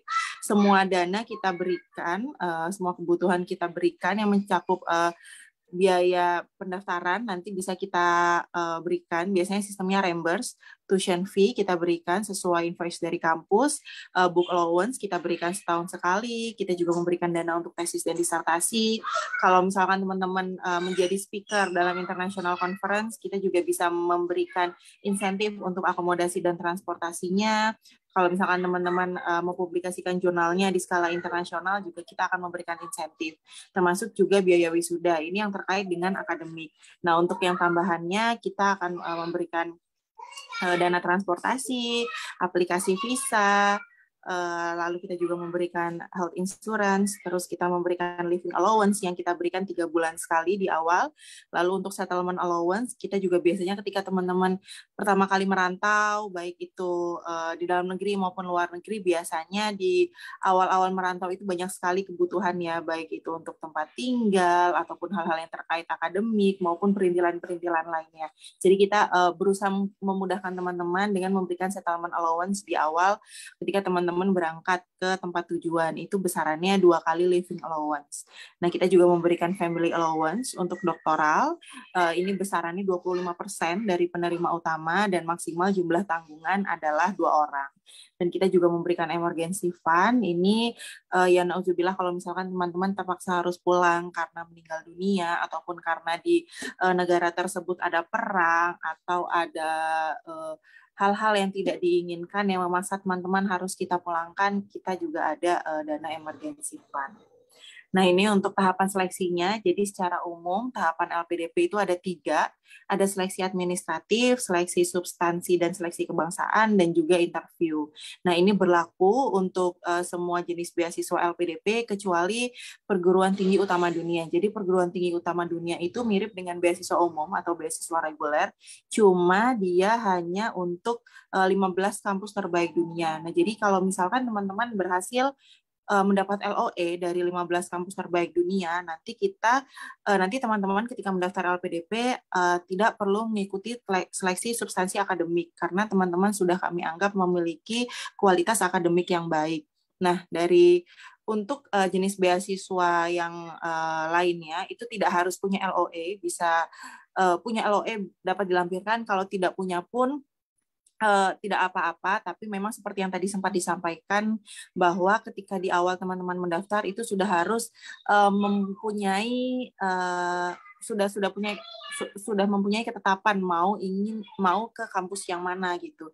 Jadi kita memberikan teman-teman tiga pilihan univ ketika teman-teman sudah submit itu tidak dapat diubah lagi. Jadi mohon teman-teman melakukan research yang mendalam baik tentang kampusnya, tentang bidang studinya dan apa yang akan dilakukan setelah lulus nanti disesuaikan semuanya. Jika memang semuanya sudah sesuai dapat dimasukkan ke dalam pilihan-pilihan untuk mendaftar beasiswa LPDP. Eh, kelebihan PTUD selain tidak mengikuti eh, seleksi substansi akademik juga tidak ada batasan IPK minimal. Jadi kalau misalkan teman-teman dirasa eh, IPK S1-nya ternyata kurang dari tiga, nah itu teman-teman mungkin bisa mempertimbangkan untuk oh, dan teman-teman merasa uh, memiliki kapabilitas yang baik dan uh, memiliki uh, tekad yang kuat gitu untuk untuk lanjut studi ke kampus terbaik dunia dan rencana studi pasca studi yang matang uh, bisa dicoba untuk uh, mendaftar via uh, beasiswa PTUD syaratnya harus punya LOE ketika mendaftar untuk program ini. Nah, untuk tahun 2021 ini kita sudah membuka uh, dua kali gelombang. Di gelombang kedua saat ini sedang proses interview. Uh, sepanjang bulan November ini kita interview dan nanti pengumuman finalnya akan kita sampaikan pada 3 Desember.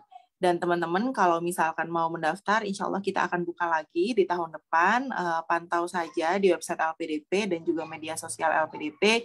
Kita pasti akan menginfokan kalau LPDP membuka pendaftaran kembali. Idealnya sih dalam satu tahun kita membuka dua kali pendaftaran. Nah, ini kurang lebih uh, persyaratannya. Ini beberapa hal yang perlu di-highlight. Sebenarnya ada beberapa persyaratan yang sifatnya administratif, dokumen dokumen-dokumen. Tapi biasanya yang perlu dilihat apakah uh, bagaimana IPK terakhir teman-teman, bagaimana usia teman-teman, dan juga uh, sertifikat bahasa yang teman-teman miliki. Nah, ini yang uh, biasanya memang uh, tidak semua orang bisa langsung uh, mendaftar begitu saja. Ada beberapa orang yang memang perlu waktu untuk untuk untuk untuk uh, memperoleh sertifikat bahasa dengan standar minimal yang disyaratkan oleh LPDP. Uh, nah ini ini yang untuk perguruan tinggi utama dunia. Ini untuk daftar-daftar perguruan tingginya. Uh, detailnya bisa teman-teman cek di website atau kalau misalkan teman-teman ada yang bingung ini nanti bisa hubungi call center LPDP di ujung kanan bawah itu 15652 kita buka 24 jam uh, setiap hari jadi teman-teman kalau ada yang bingung silakan sampaikan di situ atau teman-teman kalau lebih nyaman seperti email uh, menulis bisa uh, lewat bantuan.apdp.kemenq.go.id atau kalau teman-teman lebih suka yang casual uh, melalui media sosial kita juga uh, ada admin khusus yang standby untuk menjawab pertanyaan teman-teman itu di Instagram, Twitter dan Facebook. Jadi uh, saya rasa cukup sekian dari LPDP. Kami kembalikan ke Bap uh, Bapak Yodi. Terima kasih.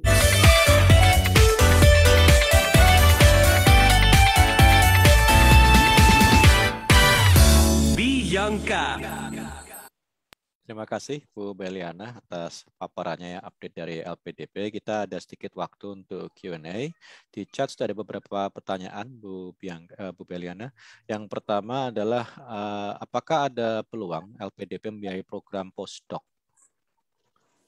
Iya, untuk saat ini memang kami sifatnya yang degree, tapi memang Kementerian Pendidikan uh, Kemdikbudristek itu sudah uh, ada rencana untuk memberikan pendanaan postdoc dan juga berkolaborasi. Nanti uh, kita coba lihat ke depan ya mudah-mudahan ada uh, program, nam namun mungkin uh, nanti sifatnya yang kolaborasi dengan uh, Kemdikbudristek seperti itu. Tapi kalau dari LPDP sendiri sejauh ini masih yang sifatnya uh, degree. Oke. Okay. Baik, terus berikutnya terkait dengan penentuan umur untuk beasiswa LPDP. Ada informasi terkait dengan batas umur? Iya, untuk batas umur itu untuk uh, yang beasiswa reguler itu uh, untuk daftar magister itu maksimal di 35 tahun, untuk daftar doktoral itu 40 tahun, tapi kita juga punya uh, batas usia yang lebih uh, panjang lagi itu untuk teman-teman beasiswa afirmasi dan juga teman-teman di uh, eh, PNS TNI Polri itu untuk yang uh, magister itu beragam, ada yang 40 sampai 42 tahun, ada juga yang uh, 37, lalu ada juga uh, untuk doktoralnya ada yang 45 sampai 47 tahun. Jadi uh, nanti bisa dicek kira-kira mana jenis beasiswa yang sesuai. Uh, selain beasiswa umum kita ada beberapa beasiswa yang memiliki persyaratan usia yang uh, lebih longgar seperti itu. Terima kasih. Berikutnya program Budi LPDP apakah masih berjalan? Uh, kapan akan dimulai?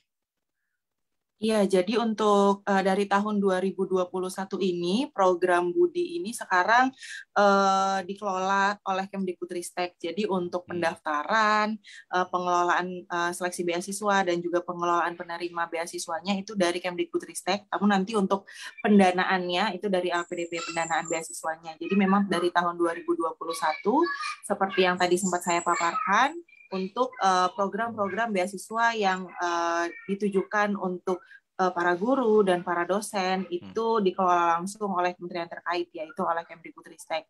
Nanti untuk pendanaannya uh, akan dilakukan oleh LPDP sebagaimana jenis-jenis uh, pendanaan yang sudah kita sampaikan tadi.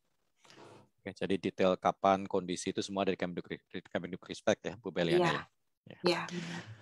Oke, berikutnya untuk master double degree di Indonesia dan luar negeri, apakah bisa didanai oleh LPDP? Apakah harus memilih salah satu? Ya, untuk saat ini memang kita tidak ada uh, double degree atau program sandwich.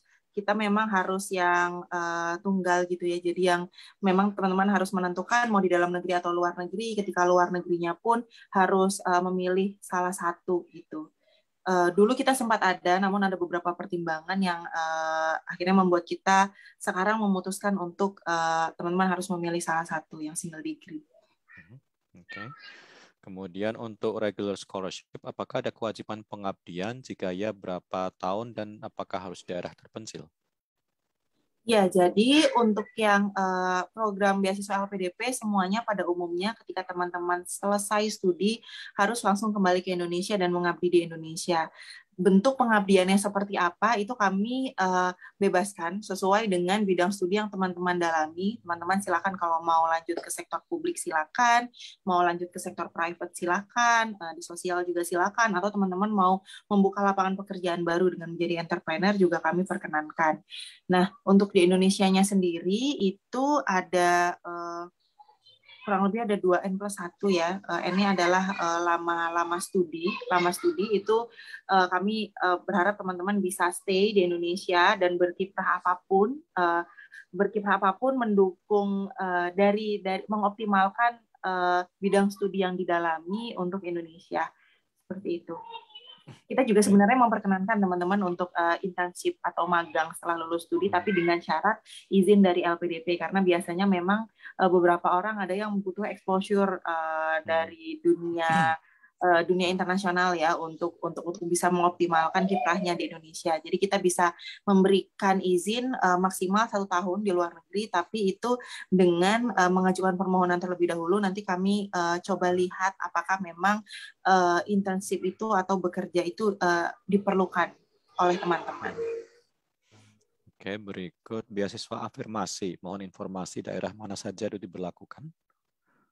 Ya, untuk daerah afirmasi uh, oh ya tadi menambahkan lagi sebelumnya. Nah, untuk yang afirmasi itu memang setelah lulus studi wajib wajib kembali lagi ke daerahnya karena memang kami berharap teman-teman yang mendaftar dari daerah afirmasi itu ketika kembali bisa membangun uh, daerahnya jadi kita uh, pembangunannya di Indonesia lebih merata. Nah, untuk daerah-daerah uh, afirmasi itu bisa cek di website LPDP uh, yang masuk daerah afirmasi adalah daerah tertinggal dan ada uh, lima provinsi di Indonesia yang semua daerahnya masuk daerah afirmasi uh, itu adalah Maluku Utara, Maluku, Papua dan uh, Papua, Papua Barat dan juga Nusa Tenggara Timur. Ini semua daerahnya masuk daerah afirmasi. Di luar provinsi itu uh, ada beberapa daerah yang memang ter, uh, dikategorikan sebagai daerah tertinggal. Saya lupa itu uh, kategorinya dari Bappenas atau apa memang ada uh, peraturan dari Indonesia yang menyatakan bahwa sebuah daerah dinyatakan daerah tertinggal. Nah, itu uh, akan kami uh, golongkan dalam teman-teman uh, yang berasal dari daerah tersebut itu bisa mendaftar uh, beasiswa daerah afirmasi. Hmm. Gitu. Okay. Berikutnya dari ini ada PNS dosen mau mendaftar beasiswa LPDP luar negeri, tapi tidak keluar ke portal untuk beasiswa luar negeri. Eh, kenapa kira-kira dan apakah bisa mendaftar yang LPDP reguler meskipun PNS dosen?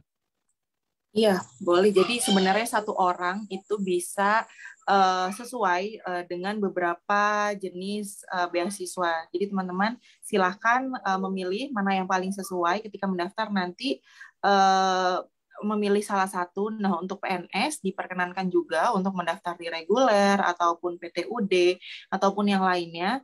Cuman memang kalau PNS ini eh, persyaratannya sama untuk surat izin atasannya itu wajib dari eh, pengelola kepegawaian minimal eselon 2 gitu yang setara dengan eselon 2. Uh, yang yang perlu uh, syarat yang perlu dipenuhi oleh PNS itu aja. Yang lainnya bisa silakan memilih jenis beasiswa mana pun. Oke, berikutnya untuk program LPDP Master ke luar negeri, apakah boleh jika pendidikan terakhirnya itu Master, jadi sudah di Indonesia, Master di Indonesia, tapi kemudian ingin beasiswa S2 di luar negeri? Iya, jadi kami uh, kalau misalkan teman-teman sudah master, kami merekomendasikan teman-teman untuk doktoral karena kami tidak memperkenankan untuk teman-teman yang sudah master lanjut lagi ke master. Ya, ini juga uh, salah satu tujuan kita supaya uh, untuk men mengejar ketertinggalan apa uh, jumlah uh, S3 di Indonesia dibandingkan negara lainnya seperti itu. Hmm. Oke. Okay.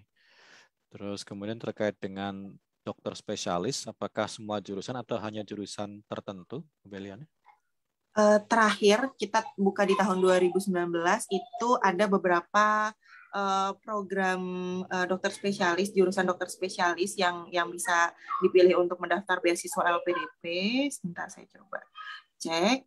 Uh, sempat ada diskusi bahwa dengan kondisi yang saat ini itu banyak uh, dokter spesialis dari uh, dokter spesialis lainnya yang sudah uh, ditentukan itu juga masih uh, kekurangan uh, sumber dayanya. Jadi nanti uh, untuk selanjutnya mohon uh, disimak kembali. Mudah-mudahan ketika kami membuka lagi berdasarkan rekomendasi uh, Kementerian Kesehatan, kita akan uh, membuka lebih banyak lagi Eh, program yang bisa didaftarkan. Nah, untuk terakhir ini di tahun 2019 itu kami membuka 8 program studi spesialis. Itu ada spesialis objin, spesialis anak, penyakit dalam, bedah, eh, anestesiologi, radiologi, patologi klinik, dan juga rehabilitasi medis. Oke. Okay. Terus terakhir di sini untuk beasiswa Budi, jika GPA dikonvert kurang dari 3,25, namun sudah punya LOE unconditional, apa diperbolehkan apply LPDP? LOE unconditionalnya kalau misalkan dari perguruan tinggi utama dunia itu uh, diperkenankan. Jadi kalau misalkan uh, kalau karena kalau perguruan tinggi utama dunia tadi kan tidak mensyaratkan uh, batas IPK minimal ya. Dan uh, yang perlu di-highlight adalah ketika sudah mendaftar di LPDP itu tidak diperkenankan untuk mendaftar di Kemdikbudristek. Jadi harus mendaftar di salah satunya gitu. Karena nanti kita pendanaannya satu ya sama-sama dari LPDP. Oke, baik. Sepertinya itu yang terakhir, Bu Beliana. Tapi saya yakin juga masih banyak hal yang uh, mungkin ingin ditanyakan lebih lanjut ya. Kalau seandainya ingin tanya lebih lanjut, ke manakah Bu Beliana? Setelah ini? Ya, jadi untuk pertanyaan lebih lanjut bisa melalui call center LPDP di tadi 15652, bisa melalui berbagai media sosial LPDP atau di bantuan lpdp.kemenq.go.id. Ya, kami sudah ada tim yang uh, siap untuk menjawab uh, pertanyaan dari Bapak Ibu dan teman-teman 24 jam. Oke, baik. Terima kasih banyak Bu Beliana atas sharing informasinya, informasi dari LPDP. Harapan kita banyak di antara teman-teman di sini yang berhasil tembus ya beasiswa-beasiswa dari LPDP ini. Terima kasih Bu Beliana atas waktunya. Iya, sama-sama, Dr. Yogi. Baik, Ibu Bapak, kita sudah sampai pada penghujung acara. Uh, sebelum kita wrap up, uh, on sebagai reminder, mohon Ibu Bapak mengisi form evaluasi ya, sudah ada di chat ya, link evaluasi Bianca, karena hanya peserta yang mengisi itu yang akan mendapatkan sertifikat dan link materi presenter ya. Jadi tadi banyak pertanyaan mengenai materi presenter, untuk itu silahkan mengisi form link evaluasi yang sudah ada di chat. Kemudian juga ini program rutin ya Bianca ini, sehingga sudah disiapkan juga untuk Bianca yang berikutnya. Silahkan dari panitia bisa display untuk flyer Bianca berikutnya. Ya, jadi ini Bianca yang ke-19 ini program studinya economics ya. Dan di situ sudah ada uh, dua universitas yang akan dihadirkan, Colorado State University CSU dan uh, University of Illinois di Urbana-Champaign ya. Nah, jadi silakan nanti informasi ini bisa di disseminate ya, bisa di-share dengan teman-teman yang uh, peminatannya ke arah ekonomi sehingga nanti juga ke depan banyak juga uh, dari Indonesia yang bisa mengambil S2 ataupun S3 untuk ekonomi di Amerika Serikat. Ya. Uh, itu Ibu Bapak dan sebelum kita tutup, uh, sepertinya kan ada foto session uh, dari panitia. Silahkan bisa dipandu untuk sesi fotonya. Baik, terima kasih Dr. Yodi. Mungkin sekarang kita bisa masuk ke sesi foto bersama. Untuk para peserta bisa dinyalakan terlebih dahulu untuk kameranya. Silakan bisa dinyalakan, bisa on camera sebentar untuk kita foto. Ini cukup banyak ya untuk silakan panitia bisa. Mungkin kita tunggu dulu sebentar. Masih ada yang bersiap-siap.